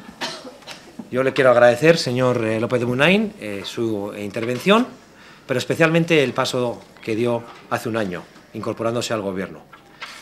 Yo lo dije desde el principio de la legislatura, estábamos abiertos a incorporar a otras fuerzas políticas al Gobierno. Estábamos dispuestos incluso a explorar otras fórmulas como la del concejal subdelegado, de tal manera que todos pudiéramos participar en la gestión y en la gobernanza. Y solo ustedes dieron el paso. Por lo tanto, creo que es también de agradecer y poner en valor el trabajo que están realizando, porque hoy tenemos un gobierno más plural, un gobierno más diverso y un gobierno eh, más estable. Por otro lado, también eh, yo lo que quiero es apelar al acuerdo. Creo que hoy no es cuestión de entrar en el rifirrafe, es apelar al acuerdo. Yo les propongo un triple pacto por Vitoria-Gasteiz. Uno social, uno social. Hay tres fenómenos que tenemos que atender. Uno es el del envejecimiento. No es ajeno a Vitoria-Gasteiz. Las sociedades avanzadas son sociedades cada vez más envejecidas y tenemos que poner los recursos necesarios para dar cobertura a las personas mayores. Por lo tanto, entre el pacto social tenemos que incorporar estrategias para atender el fenómeno del envejecimiento, porque nuestras personas mayores deben ser una prioridad. En segundo lugar, la diversidad. Lo decían ustedes, por cierto, con la bandera LGTBI. Yo creo que es que no es creíble el planteamiento de que yo, vamos, me oponga eh, a defender los derechos de ese colectivo yo creo que en este asunto tienen que decir toda la verdad. Lo que se acordó es iluminar la fachada con los colores de la bandera. Iluminar la fachada. No solo la fachada, sino iluminar también los arquillos. Y eso se les trasladó, porque también decíamos que si no, como todos los días del año, afortunada o desgraciadamente, celebramos alguna efeméride, podríamos tener todos los días del año alguna bandera pendiendo de nuestro balcón. Por lo tanto, lo que trasladamos es, por supuesto, absoluto respeto absoluto respeto a la diversidad, también a, esta diversidad, a la diversidad de género, y por supuesto eh, todo nuestro apoyo. No intenten hacer una polémica donde no la hay. Donde no la hay. Lo intentaron el otro día y desde luego que no vamos a entrar en provocaciones porque ese colectivo no se lo merece. Porque tienen mi apoyo. Porque Vitoria es una ciudad diversa, es una ciudad plural. Pero es que las ciudades modernas son así. Son ciudades diversas, son ciudades plurales. Y por lo tanto, el otro fenómeno al que tenemos que atender es el de la diversidad. Tercero, la lucha contra la pobreza y la exclusión social. Decía la señora Larreón que es que no quería dar los datos, no, es que son los mismos datos que antes. Incluso referencias a estudios que se han hecho en el 2014. Pero en todo caso, en todo caso, lo que les traslado es que hay un fenómeno que tenemos que atender y que tenemos que dar respuesta, que es la pobreza y la exclusión social. Porque Vitoria siempre ha sido así, se ha caracterizado por ello. Porque nos tenemos que volcar con las personas, lo decía ayer. Vitoria es una ciudad volcada con su gente. Tenemos que seguir estando volcados con nuestra gente. A mí me da bastante miedo el discurso aquel que cuestiona las políticas de lucha contra la pobreza y contra la exclusión y contra el diferente. Eso lo tenemos que desterrar, por mucho rédito político que pueda dar en un momento dado. Por lo tanto, primer acuerdo social, para atender el envejecimiento, para atender la diversidad y para luchar contra la pobreza y la exclusión social. Segundo, pacto económico. Lo dice el señor interventor, que hoy también está presente en este pleno. Tenemos un problema económico y ustedes lo conocen. Y ustedes lo conocen. Este ayuntamiento no genera el ahorro neto suficiente para poder atender los gastos que tiene y para poder atender sobre todo inversiones de futuro. Planteemos un gran pacto fiscal, pero no para esta legislatura, yo diría incluso para la próxima década. Para la próxima década. Se lo planteaba en el debate del Estado-Ciudad del año pasado, sin éxito. Hoy se lo vuelvo a plantear, tiendo la mano al acuerdo. Ya un pacto, pero un pacto serio, un pacto riguroso, un pacto en que todos hagamos la lectura real, la lectura real, que no es la que digo yo, que es la que el propio interventor y el equipo económico del ayuntamiento nos traslada no desde hace dos años, sino desde hace varios. Es que este ayuntamiento depende del FOFEL. Usted mismo en su primera, eh, en su propio documento, señora Comerón, habla de que como el FOFEL ha subido, pues hay que bajar. ¿Y si baja mañana? No podemos estar dependiendo única exclusivamente del FOFEL. Por cierto, un FOFEL al que habría que reivindicar que este ayuntamiento recibiera el 56% de la financiación incondicionada, porque en estos momentos es del 52,3%. En todo caso, lo que les planteo es un pacto, un acuerdo económico. ¿Para qué? Para varias cosas. En primer lugar, para que tengamos en los próximos años un incremento mayor del ingreso que del gasto. Así recuperamos las cifras de ahorro neto, la capacidad inversora y la capacidad de atender situaciones no previstas. También para incrementar la financiación incondicionada, que tiene que venir vía FOFEL. Y para que hagamos un ejercicio sobre cómo podemos hacer unas políticas más eficientes en cuanto al gasto. Un acuerdo para, no esta legislatura, los próximos años, teniendo en cuenta que evidentemente hay que tener la situación familiar presente, la situación de las empresas y la situación de todos los contribuyentes, pero también la nuestra. Y el último, el pacto del futuro. Porque el futuro de Vitoria-Gasteiz comienza ya, comienza desde ahora, se lo decía ayer, un pacto por Vitoria, por la Vitoria del futuro. En estos momentos, en los próximos años, vamos a tener eh, aspectos, cambios que van a suponer una modificación nunca conocida en Vitoria. Y una es la alta velocidad, la alta velocidad, el soterramiento, la llegada a una plataforma logística de alta velocidad. Tenemos que estar preparados para ello.